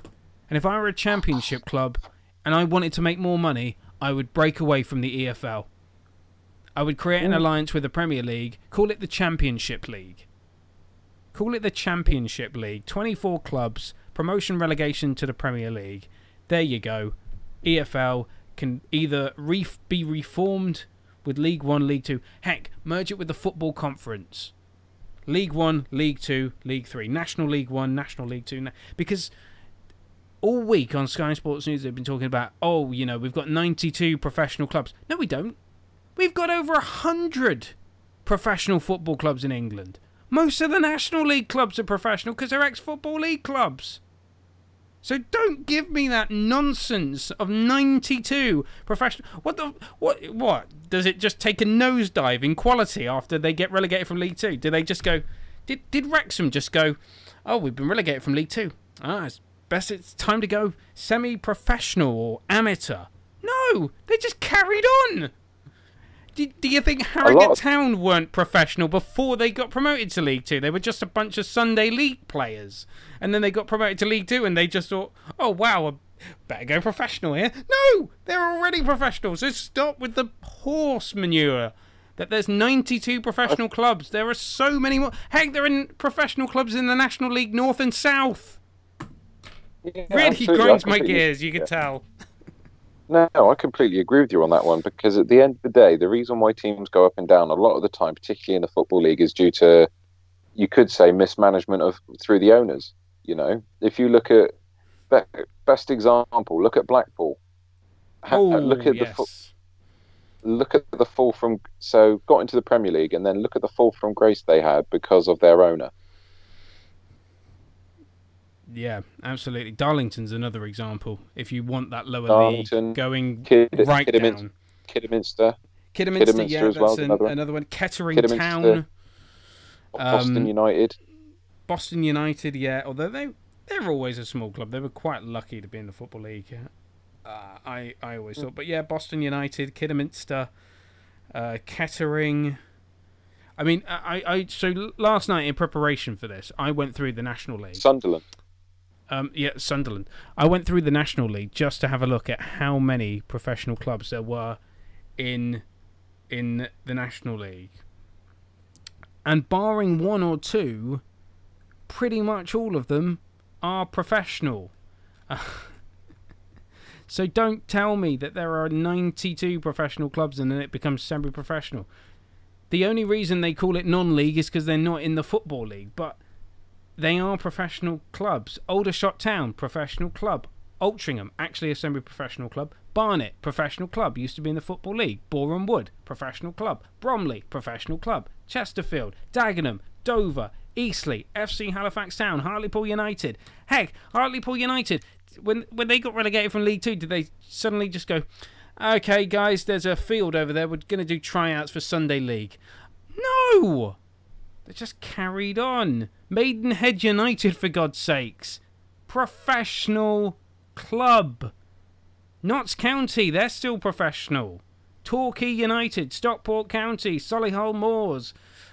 We uh, Wealdstone's actually semi-professional. Uh, Weymouth, Woking, Wrexham, Yeovil. They're all professional clubs. Heck, National League South, Ebbsfleet United got relegated from the National League. Still a professional club. It doesn't go off a cliff. Oh my Yeah, I don't. I, the problem is, is that as much as it seems like they're quite keen to label teams semi-professional teams and no longer professional clubs once they drop out of the money making. Uh, once they drop out of the money making leagues, um, because you know then their then their their role in propping up the football pyramid, you know, has been severely reduced. exactly. Um, and and you, you again, it can be indirectly linked to the ownership of the club. yeah. Um, you know, it could, you know, you buy a, say you take a, a team, a random team, they they have their best player, they have a great season. Suddenly, that player attracts interest from other clubs. They get sold. The money goes to the club, and then the owner manages the funds that come through the club from that sale. If they're invested wisely, they thrive. If they don't invest wisely, they fail. And that's where you see people fall, and that's where you see clubs fall down the footballing pyramid. You know, if you look at, you know, look at look at Sunderland, for example. You know, they had money, they made very poor investment choices in terms of players, and they're now playing in League One. Bolton as well. You know, Oh, Bolton yeah. had a severe fall from grace. They were Bolton, you know, for a good nearly 10, 15 years, were a Premier League mainstay. You know, they were, they were. Best way to describe them: Bolton were the Burnley of today. They were the Burnley of like the two early Yeah, two thousands. They were part of the furniture, yeah. Yeah, they were the team that were neither going to flat. They were neither. They were not going to They wow you going to with their set the yeah, they weren't going to set the world on but fire, they but they were still going to be there. They weren't going to be relegated. Yeah. um, because they had, you know, because they had enough quality on that team. But as soon as they started selling that quality on, or that quality moved on. The money goes into the club, and then it's the owner's responsibility to then give the funds to that to use the funds to buy new players, or if the manager left, you know, appoint a new manager. You know. So in in a a way, money, oh yeah, absolutely. But then again, who's responsible for green lighting the spending of the funds? The, you know, an owner, the owner, the owner owns the club. He owns everything about the club. That means it's like its rights. It's what happens with the merchandise, who works the food stands, all of it. If the owner doesn't wisely invest the money that they make from either ticket revenue or player sales, then ultimately the club will fall down. Its its performances will suffer on the pitch. You know, there's no smoke without fire. You know, they don't well, they don't one day decide oh actually we we're crap now so we're going to start in a relegation battle. You know? I would say majority of it can be linked back to the owners. And i remember re- i was reading an article saying that um and, I, and i'm a big fan of the i'm a fan of the checks that they have to do for owners you know if a new owner comes in to try and take over a club there has to be a background check on how they've managed their business or how they've made their money before. I mean, I work in I work in finance. I work in a bank, you know, and if someone comes in that you've Hmm. never heard of and then wants to deposit a ton of money into an account somewhere, you know, naturally the thing to do is ask questions. You know, But why I could would argue that say- the EFL and the Premier League don't ask enough questions. I think the fit and proper persons test is don't. just easy to get around. It, it's like, um, it's just easy to get around. But the, the the something that you bring up that just reminds me of another thing that the top six could have done with Project Big Picture is, you know, remember when the Saudis tried to buy Newcastle? Well, that could be Mm. vetoed. They could just say, yeah, you know what, we don't want Yeah. that particular sovereign wealth fund to buy that club, which means, rightly or wrongly, the billionaires would look at EFL teams and go, I just buy that because then the Premier League don't have any veto over it, so I could just buy Yeah. that club, get them into the into the Premier League. Anyway, what's the alternative now? Because it's been rejected unanimously, so it's now in the past. We don't need to talk about it. Let's just pause, start again. No Project Big Picture. Well, there's a new one called Saving the Beautiful Game. It's being led by some very influential people. Gary Neville. Never heard of him. Um, Manchester United legend, Gary Neville, and Sky Sports pundit. Uh, David Bernstein, who is a former chairman of Manchester City, and he did become FA chairman for a bit as well. David Davies, the BBC broadcaster. Uh, Andy Burnham, the mayor of Greater Manchester. Uh, Helen Grant, the Conservative MP for Maidstone, who um, helped David Cameron. Denise Lewis, the uh, British, just an amazing British Olympian. Mervyn King, former governor of the Bank of England, and uh, Greg Scott, who uh, was who has been a uh, partner at Memery Crystal Law Firm for 23 years. He's also an Arsenal fan as well. But these people are behind the saving the beautiful game. So let's talk about what their and it is bullet points here. So they want a so their first point is they want to be independent of the structure of the game. They want an independent body outside of the FA, outside of the EFL to help govern the game. And as Gary Neville put it, the EFL, uh, sorry, the FA don't have the funds to change the game in a, in any way that that could allow it to continue and survive down further down the period pyramid. Um, decide on new ways of distributing funds to the wider game based on funding formulas and a fair levy uh, payable to the English Premier League. Uh, set up a new and comprehensive licensing system for the professional football clubs. This is based on the German license licensing system, where it is reviewed and renewed every year. And could, by the way, um, going back to a conversation that we had a couple of episodes ago, could see if a club go folds, it could see somebody else buy that license and reform the club in that league. So, i.e., Macclesfield Town went out of business in the National League this season, but somebody's bought the assets of the club and started Macclesfield FC. So they could have bought the Macclesfield license in the National League and just inserted Macclesfield FC into the National League. Unfortunately, that's not the way we do it, and he's had to apply, and it's probably going to get rejected. Uh, but Macclesfield FC, by the way, welcome to the. But that works. That that would work in a sense because essentially what you're doing is then you're because then that governing body would then make money through those licensing fees. exactly. You're essentially saying you're essentially saying if you want to be a club and you want to play in this league, you have to purchase a license to play in this league, and that and I think that would work for me. But um, yeah, it, it, with that's what with they the do in Germany.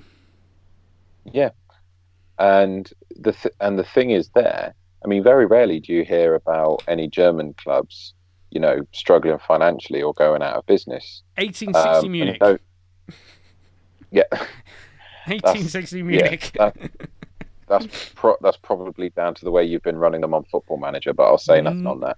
Not Um, really. It's, uh, yeah, well, there's a whole story, but yeah, they, they they fell they fell foul of the licensing laws in Germany and got relegated to the fifth division. Back in the third division now, but um, yeah, go on. That is the only club in Germany. It's kind of farcical, but that's a whole different story and a whole different sidewalk to go down, which we're not doing. That's it's again again it's it's another comparison between the governing bodies in this industry and the governing bodies in the other industry. The this is the problem faced by football clubs when the governing body for the game across the UK is run like a business Yeah, because it's it's a governing body that has shareholders, it has directors, so it has people left, right, and centre who are wanting a return on something. However, when you look at other industries and how they operate in the UK, again, I can use the financial system as an example. Two major governing bodies in the UK financial system are the Financial Conduct Authority and the Prudential Regulation Authority. They are independent governed bodies. They are not for profit. They are managed by a board of select of of trustees, if you like. They're not run as a business to turn a profit. They are people. They are an organization whose responsibility is to manage the market and make it manage the financial market and make it fair for the customers. What you have with the EFL, the FA, and the Premier League is that you have a lot of governing bodies who are operated as businesses, as private limited companies with the aim to make a profit. And that's why their view will always be skewed. The prudential, the FCA's only job in the financial market is to make sure it's fair. As long as it does that job done, the problem with running it as a business is that not only have you got to make it fair for every team involved, you've got to make sure everyone has a fair point, you got to have a governance system, but ultimately you're going to have a backing of shareholders who want their return. They want their dividend. And that's going to be the problem because you're trying to appease too many people, which you're not ultimately going to do. Yeah, that's the issue nowadays. And somebody brought it up on Sky Sports this week that buying, we all know, I think it was Carragher Carra actually, who said we all know that that the, the the cat's out of the bag. Football investment is no longer a passion project. It can now make you money. So we have seen mm. hedge funds, uh, complete sharks buy football clubs just in the small attempt to make a buck. Maybe the Glazers. Um, mm. if you're a Manchester United fan, because they're definitely there to make uh, well, they're they're there to make their banks money because uh, they have massive uh, debts that Manchester United are paying off. Did you know, for example, Manchester United are not are not allowed to make a profit lower than sixty million pounds a year. If they make a, a loss of uh, if they make less than sixty million pound profit a year, then the banks can call out call up their um, loans and demand repayment immediately. Not happened, but probably never going to happen, but it, they do make the banks money.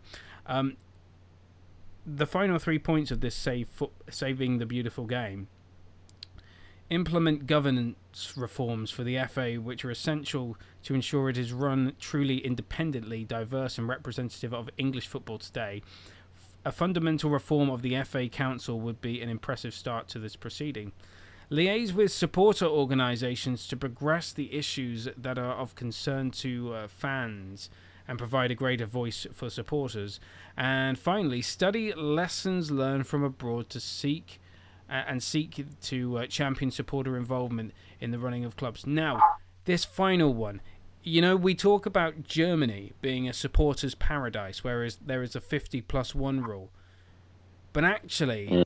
German fans don't see it that way. There's an interesting uh, documentary. If you follow a halftime on DW, which is a German broadcasting station on YouTube, they've just done um, an English language um, episode where they look at the 50 plus 1 rule and how it has benefited Bayern Munich and how it has made German football considerably boring because it's just Bayern or it's Dortmund in second, Schalke here, um, and ignoring the fact that actually quite a lot of the f- football clubs are, are in a lot of debt in Germany, um, but they're now trying to look for ways to not end the 50 plus 1 rule, but stop Bayern Munich's dominance.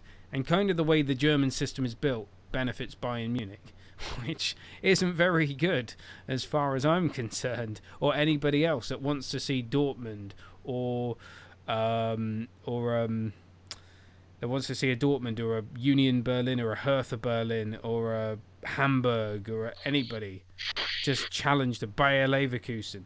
And actually, the Southampton manager, um, Ralph Hasenhüttl, put put it very well when he said, you know, m- the Premier League is the best league because you have six, seven teams that compete. So why would you want to change that? Why would you want to ruin that? You know, and he used Germany as an example, saying you would never get a Leicester City winning the Bundesliga against Bayern. Never in a million years. You would never get, say, a Hertha Berlin beating Bayern Munich for the league title. You would never have that. Have that in England. Cherish it, enjoy it because it's fantastic and it's why people watch the game in, in the country. You don't get that in Spain. You don't get it in France. You don't get it in Italy. we're the only country where you where that is a realistic possibility. And yeah, it might not happen for another 20 or 30 years. Still a possibility. You know, there's a there's a possibility that Newcastle United could win the Premier League next year. A very unlikely possibility, yeah, but a possibility nonetheless. And that's why I love the Premier League is it's open. I don't know about this saving the beautiful game thing. I I'm not I like some of it, but I'm not sure. I think the I I think they're po- they're pointing the finger of blame at the FA. I would point the finger of blame at the EFL. I think the EFL is not fit for purpose. I think the FA is a bit pants, but um, and there's a saying we've got in England called Sweet Football Association, which means F all. Um, there's a reason why it's Sweet FA. Um, but yeah, do you, who do you blame in this scenario? Is it the EFL or the or the FA? Because I'm firmly against the EFL here. I, I think they're they're then unfit for the custodians of the league game. I would say I would I would agree with you 100% on the fact that the EFL doesn't seem to serve its purpose in enhancing and bettering the sport of football.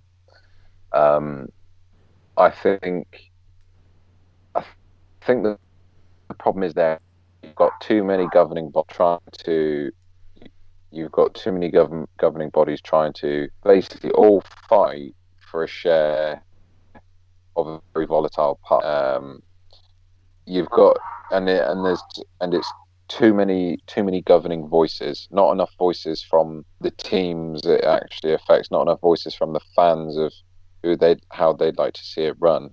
Um, it's a lot of. I mean, to, to, be fair, the save the beautiful game thing, a lot of it, especially the last couple of points, definitely sat from Gary Neville. Definitely sounds like he's trying to do a bit to protect his. Inv- the reason why he's caring so much about the EFL is because he doesn't want it to stop. He probably wants to protect his, his investment in Salford City because there's no doubt he's probably put a chunk of change into that club. Yeah. Um, yeah. So that's why so that's so that's what it sounds a bit like. Is like I've invested my time and money in Salford City. I want to see it do well. Yeah, yeah. And I think also argue that when he wants you... a bit more money for non-league as well, which is where Salford City came from. Yeah, I mean, I think seeing non-league teams come up that's good because you know everyone gets tired of the same monopoly of the same teams um, vying for places, fighting for titles, and things like that. Um, if it's it's a tough one because it's you know you you got to think to yourself, are we just putting in what are we just replacing one corrupt system with another? Because no system's going to in essence appease everybody. Because at the end of the day, all clubs, all owners, all chairmen are going to be inwardly inward focused. They're going to be inwardly facing. They're just going to focus on the future of their clubs and their and by extension their wallets as well. Um, so I I would say my my preference would be to have one ultimate governing body of football, not the FA, the EFL, and the Premier League. I say one governing body that covers everything from the Premier League down. So, like they did in Scotland, where the Premier League and the Scottish Football League merged into the Scottish Professional Football League, and they had one one four tier uh, system, but then you've got the Scottish FA as a as a separate thing. So I know what you're calling for the FA, all of it to be under one umbrella, like it is kind of in Spain and uh, Germany. Yeah, in a way, because ultimately, ultimately, when you have too many governing bodies, especially governing bodies that are run as businesses, you know, they're private, they're privately or publicly owned because when you have public and private ownership, you have there's always going to be people that are driven by monetary gain. Where whether it's a whereas if you have it run like a a CIC, uh, a community interest company, where it's managed, it's incorporated but managed by a board of trustees. It's limited by guarantee, if you like. Mm. Then that's when that's when it starts to be managed for and the performance and the performance of it is measured by the effectiveness and the impact it's had on the game and not by figures on a figures on a spreadsheet.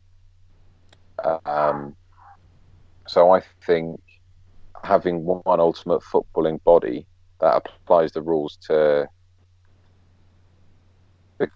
equally because equality in a situation where clubs who clubs who have half a million in the bank versus clubs who have half a million in the bank quality is not what it's all about. It's about equity. Um, so you when when you start handing power over to your Man Cities and things like that, when you hand the power over to the Big Six, they will what they'll want to fiercely guard their places as the Big Six. You know, so therefore they'll veto anything that threatens that. So, like you said, the example would be the Saudi takeover of Newcastle. You know, that could threaten their position in that Big Six bit. Um, again, it's like it's a, it's a tough one to discuss, really, because again, it's like discussing, you know, it's it's like it's like saying what am I, and it's like how do I destroy my house? Shall I burn it? Shall I, uh, bur- shall I burn it down, or shall I burn it down, or use this crane to knock it down? Ultimately, ultimately, the results are the same. You know, Yeah. your house is destroyed, but the methods are different, and it's the same with the football. Who, you know, are you going to be just replacing one corrupted system with another? Are you going to be replacing a system that benefits a group of, clubs with a system that benefits another group of clubs? You know? Yeah, I know what I, I know what you're where you're where you're going with it. Um, you know, I think, you know, obviously Project Big Picture is a non-starter because we all like the English football pyramid. This kind of idea of this rags to riches story. Uh, Yeah.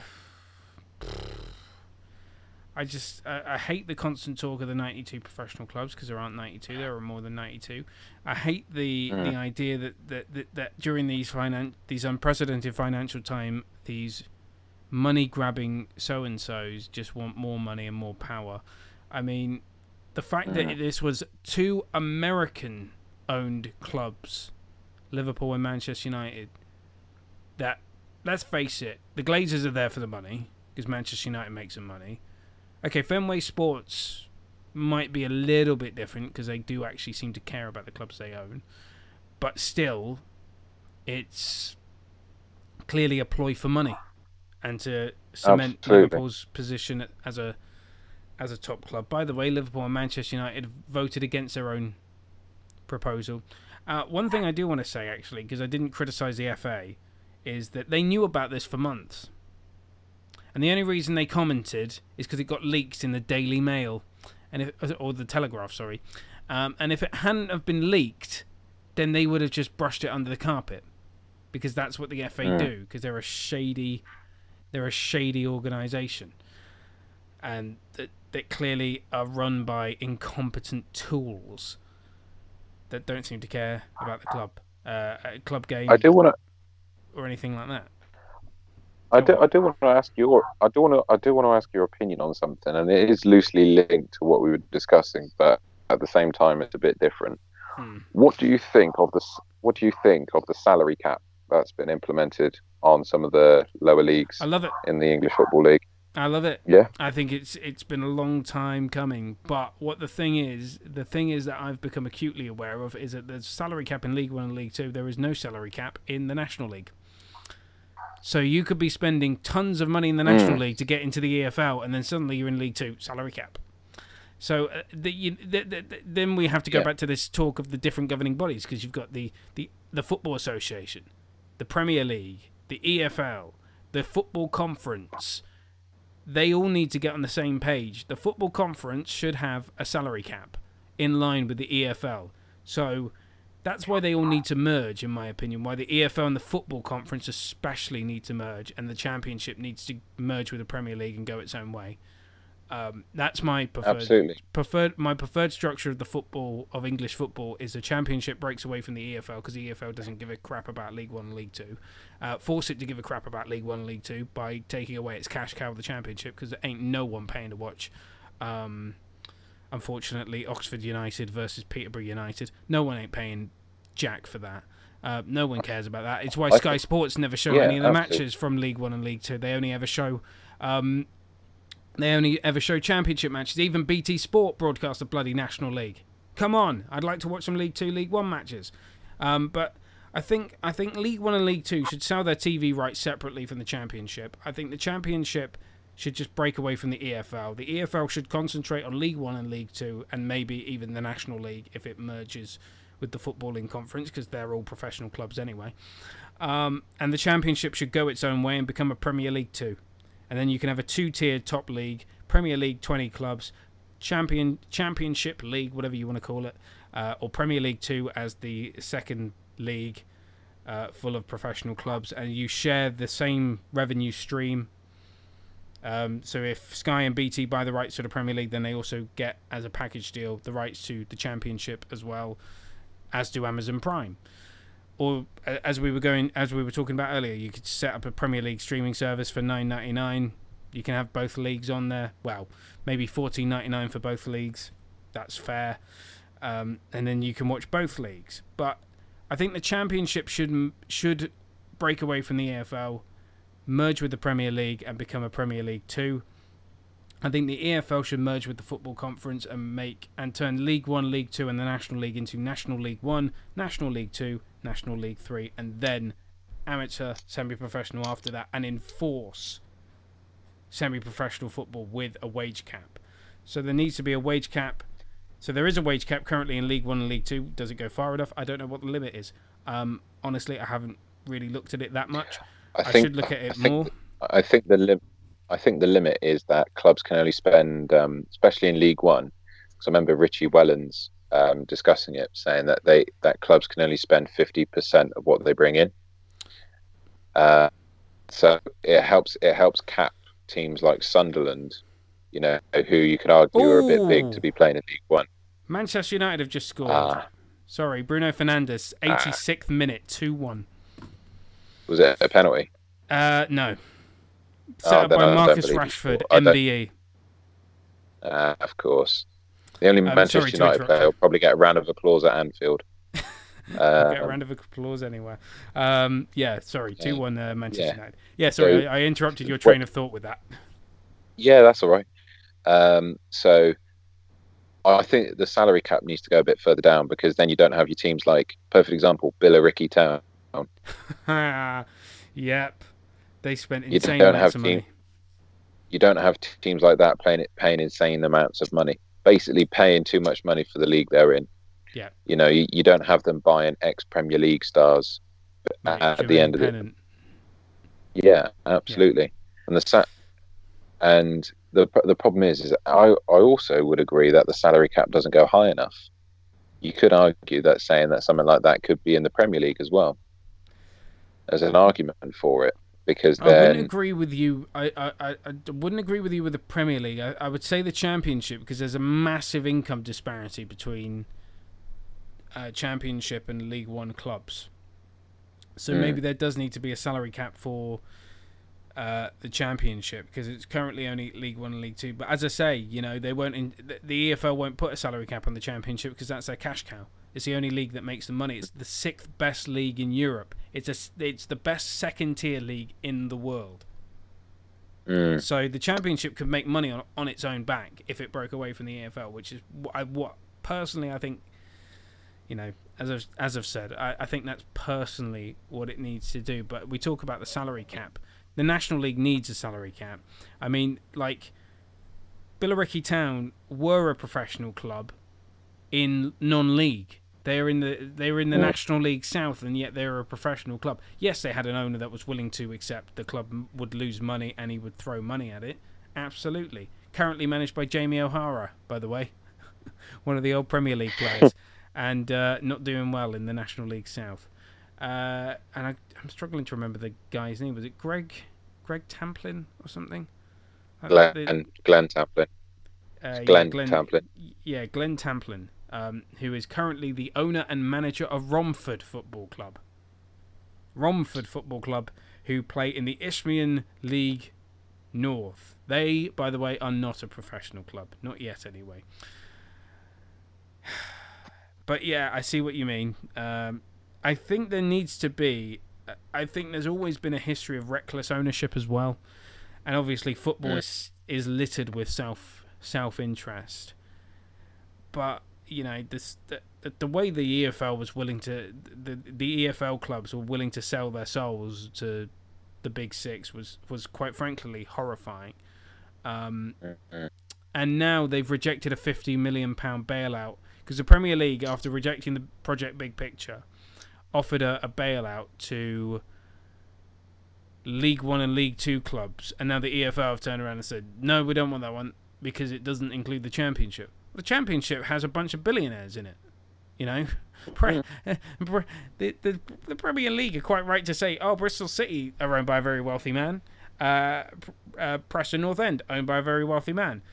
Um, you know, there are some very wealthy clubs in in the um, in the championship. Watford aren't entirely the the poorest club in the world. Neither are QPR. They're all owned by very successful business people in other in other areas of business, and they're all pretty much owned by billionaires because that's what you need to do to to be apart from Wycombe. Um, you know, you need to be a billionaire to really survive in the championship nowadays. So actually, I understand why the Premier League would not want to give money to the Championship clubs because they're all owned by very wealthy individuals. League One and League Two clubs, that's not the case. Uh, apart from Salford City, in which case don't give them any f- sort of financial package whatsoever and let them be relegated. Uh, uh, no, I'm joking. Um, but I just it's it's confusing. I'm confused. My head hurts. And I, I, how do we save English football? How do we? We need to save it from itself first, don't we? Yeah. Before you bring, you know, before you throw it in, they always say the first step in a in um in uh helping a problem is realizing there is one. Um, but there, there- there seems to be there seems to be a lot of a lot of loud voices all trying to have their say in what they think that problem is. You know, whether if it's the club at the tops have too much money, or if it's the clubs that fall down the ladder still have too much money, if um, lower league clubs are paying too much money, if you know clubs are running themselves into the ground with not enough money and therefore not, you know, wisely managing. it.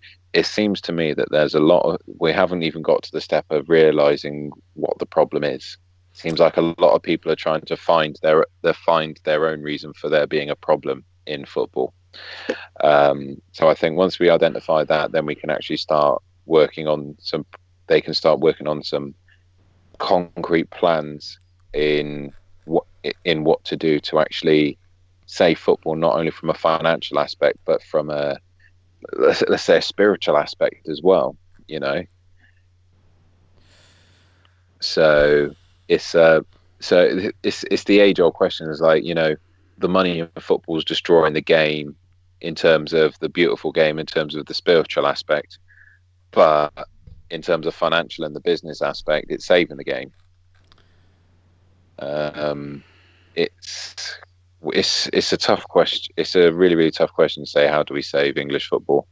I think just i think an independent governing body which is managed by a board of trustees and not by a group of shareholders and directors would be a start because then you have people whose only motivation i for the decisions they make would be the betterment of the game and the fairness of the game as opposed to a private limited company as acting as a governing body whose actions and decisions are going to be mainly influenced by how they can fill their pockets up.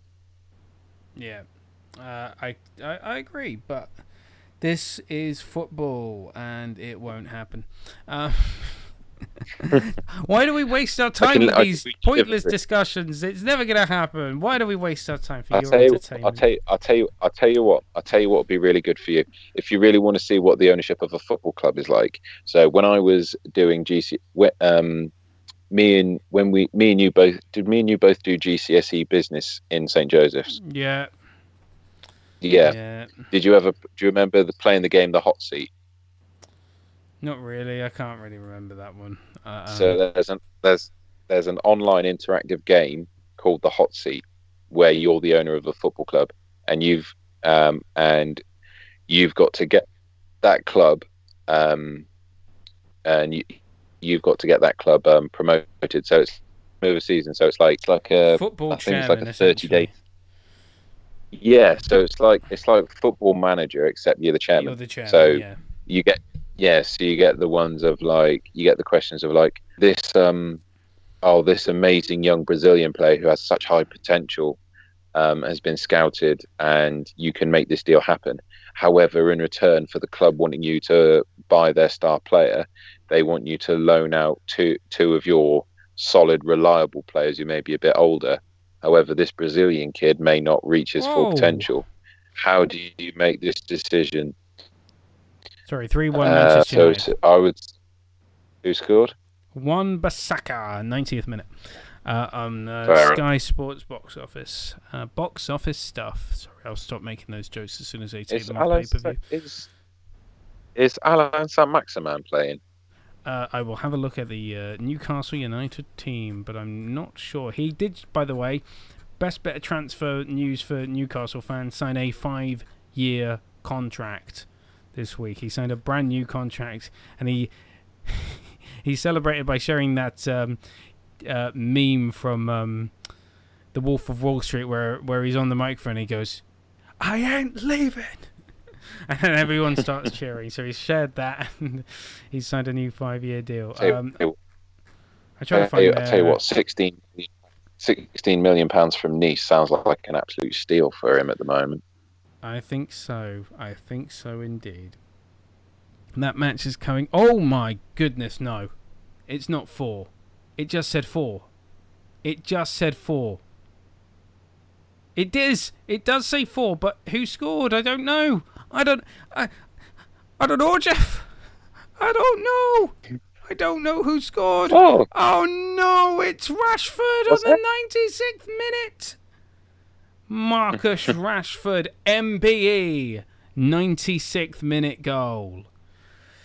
That's what's happened, Jeff. Don't know who I'm calling Jeff here. I, I, I genuinely want him to put the letters MBE on the back of his shirt now. I, I want him to do. I just want. I don't want him to have Rashford on his shirt. Just MBE and MBE. Yeah.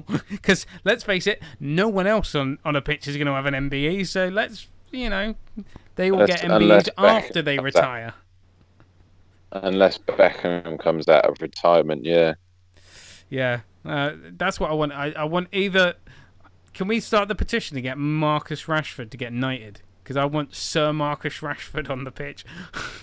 Not that I want him playing for Manchester United or anything. I just find it hilarious that he'll just put Sir. You on can his- imagine. You can imagine the. Martin Tyler one. He's like, Ballat- Balotelli, Sir Marcus. oh, it's full time. It's 4 1. 4 1, full time. 96th minute goal for Marcus Rashford. 4 1. Newcastle United 1. Manchester United 4. Box office stuff. Oh, God, I've got to stop making those jokes. And that is it for our program. Um, reshaping the EFL. Never going to happen. Bye bye. Project Restart. Bye bye to this show. We'll be back next week from 7 pm. See ya. Have a good week. Bye.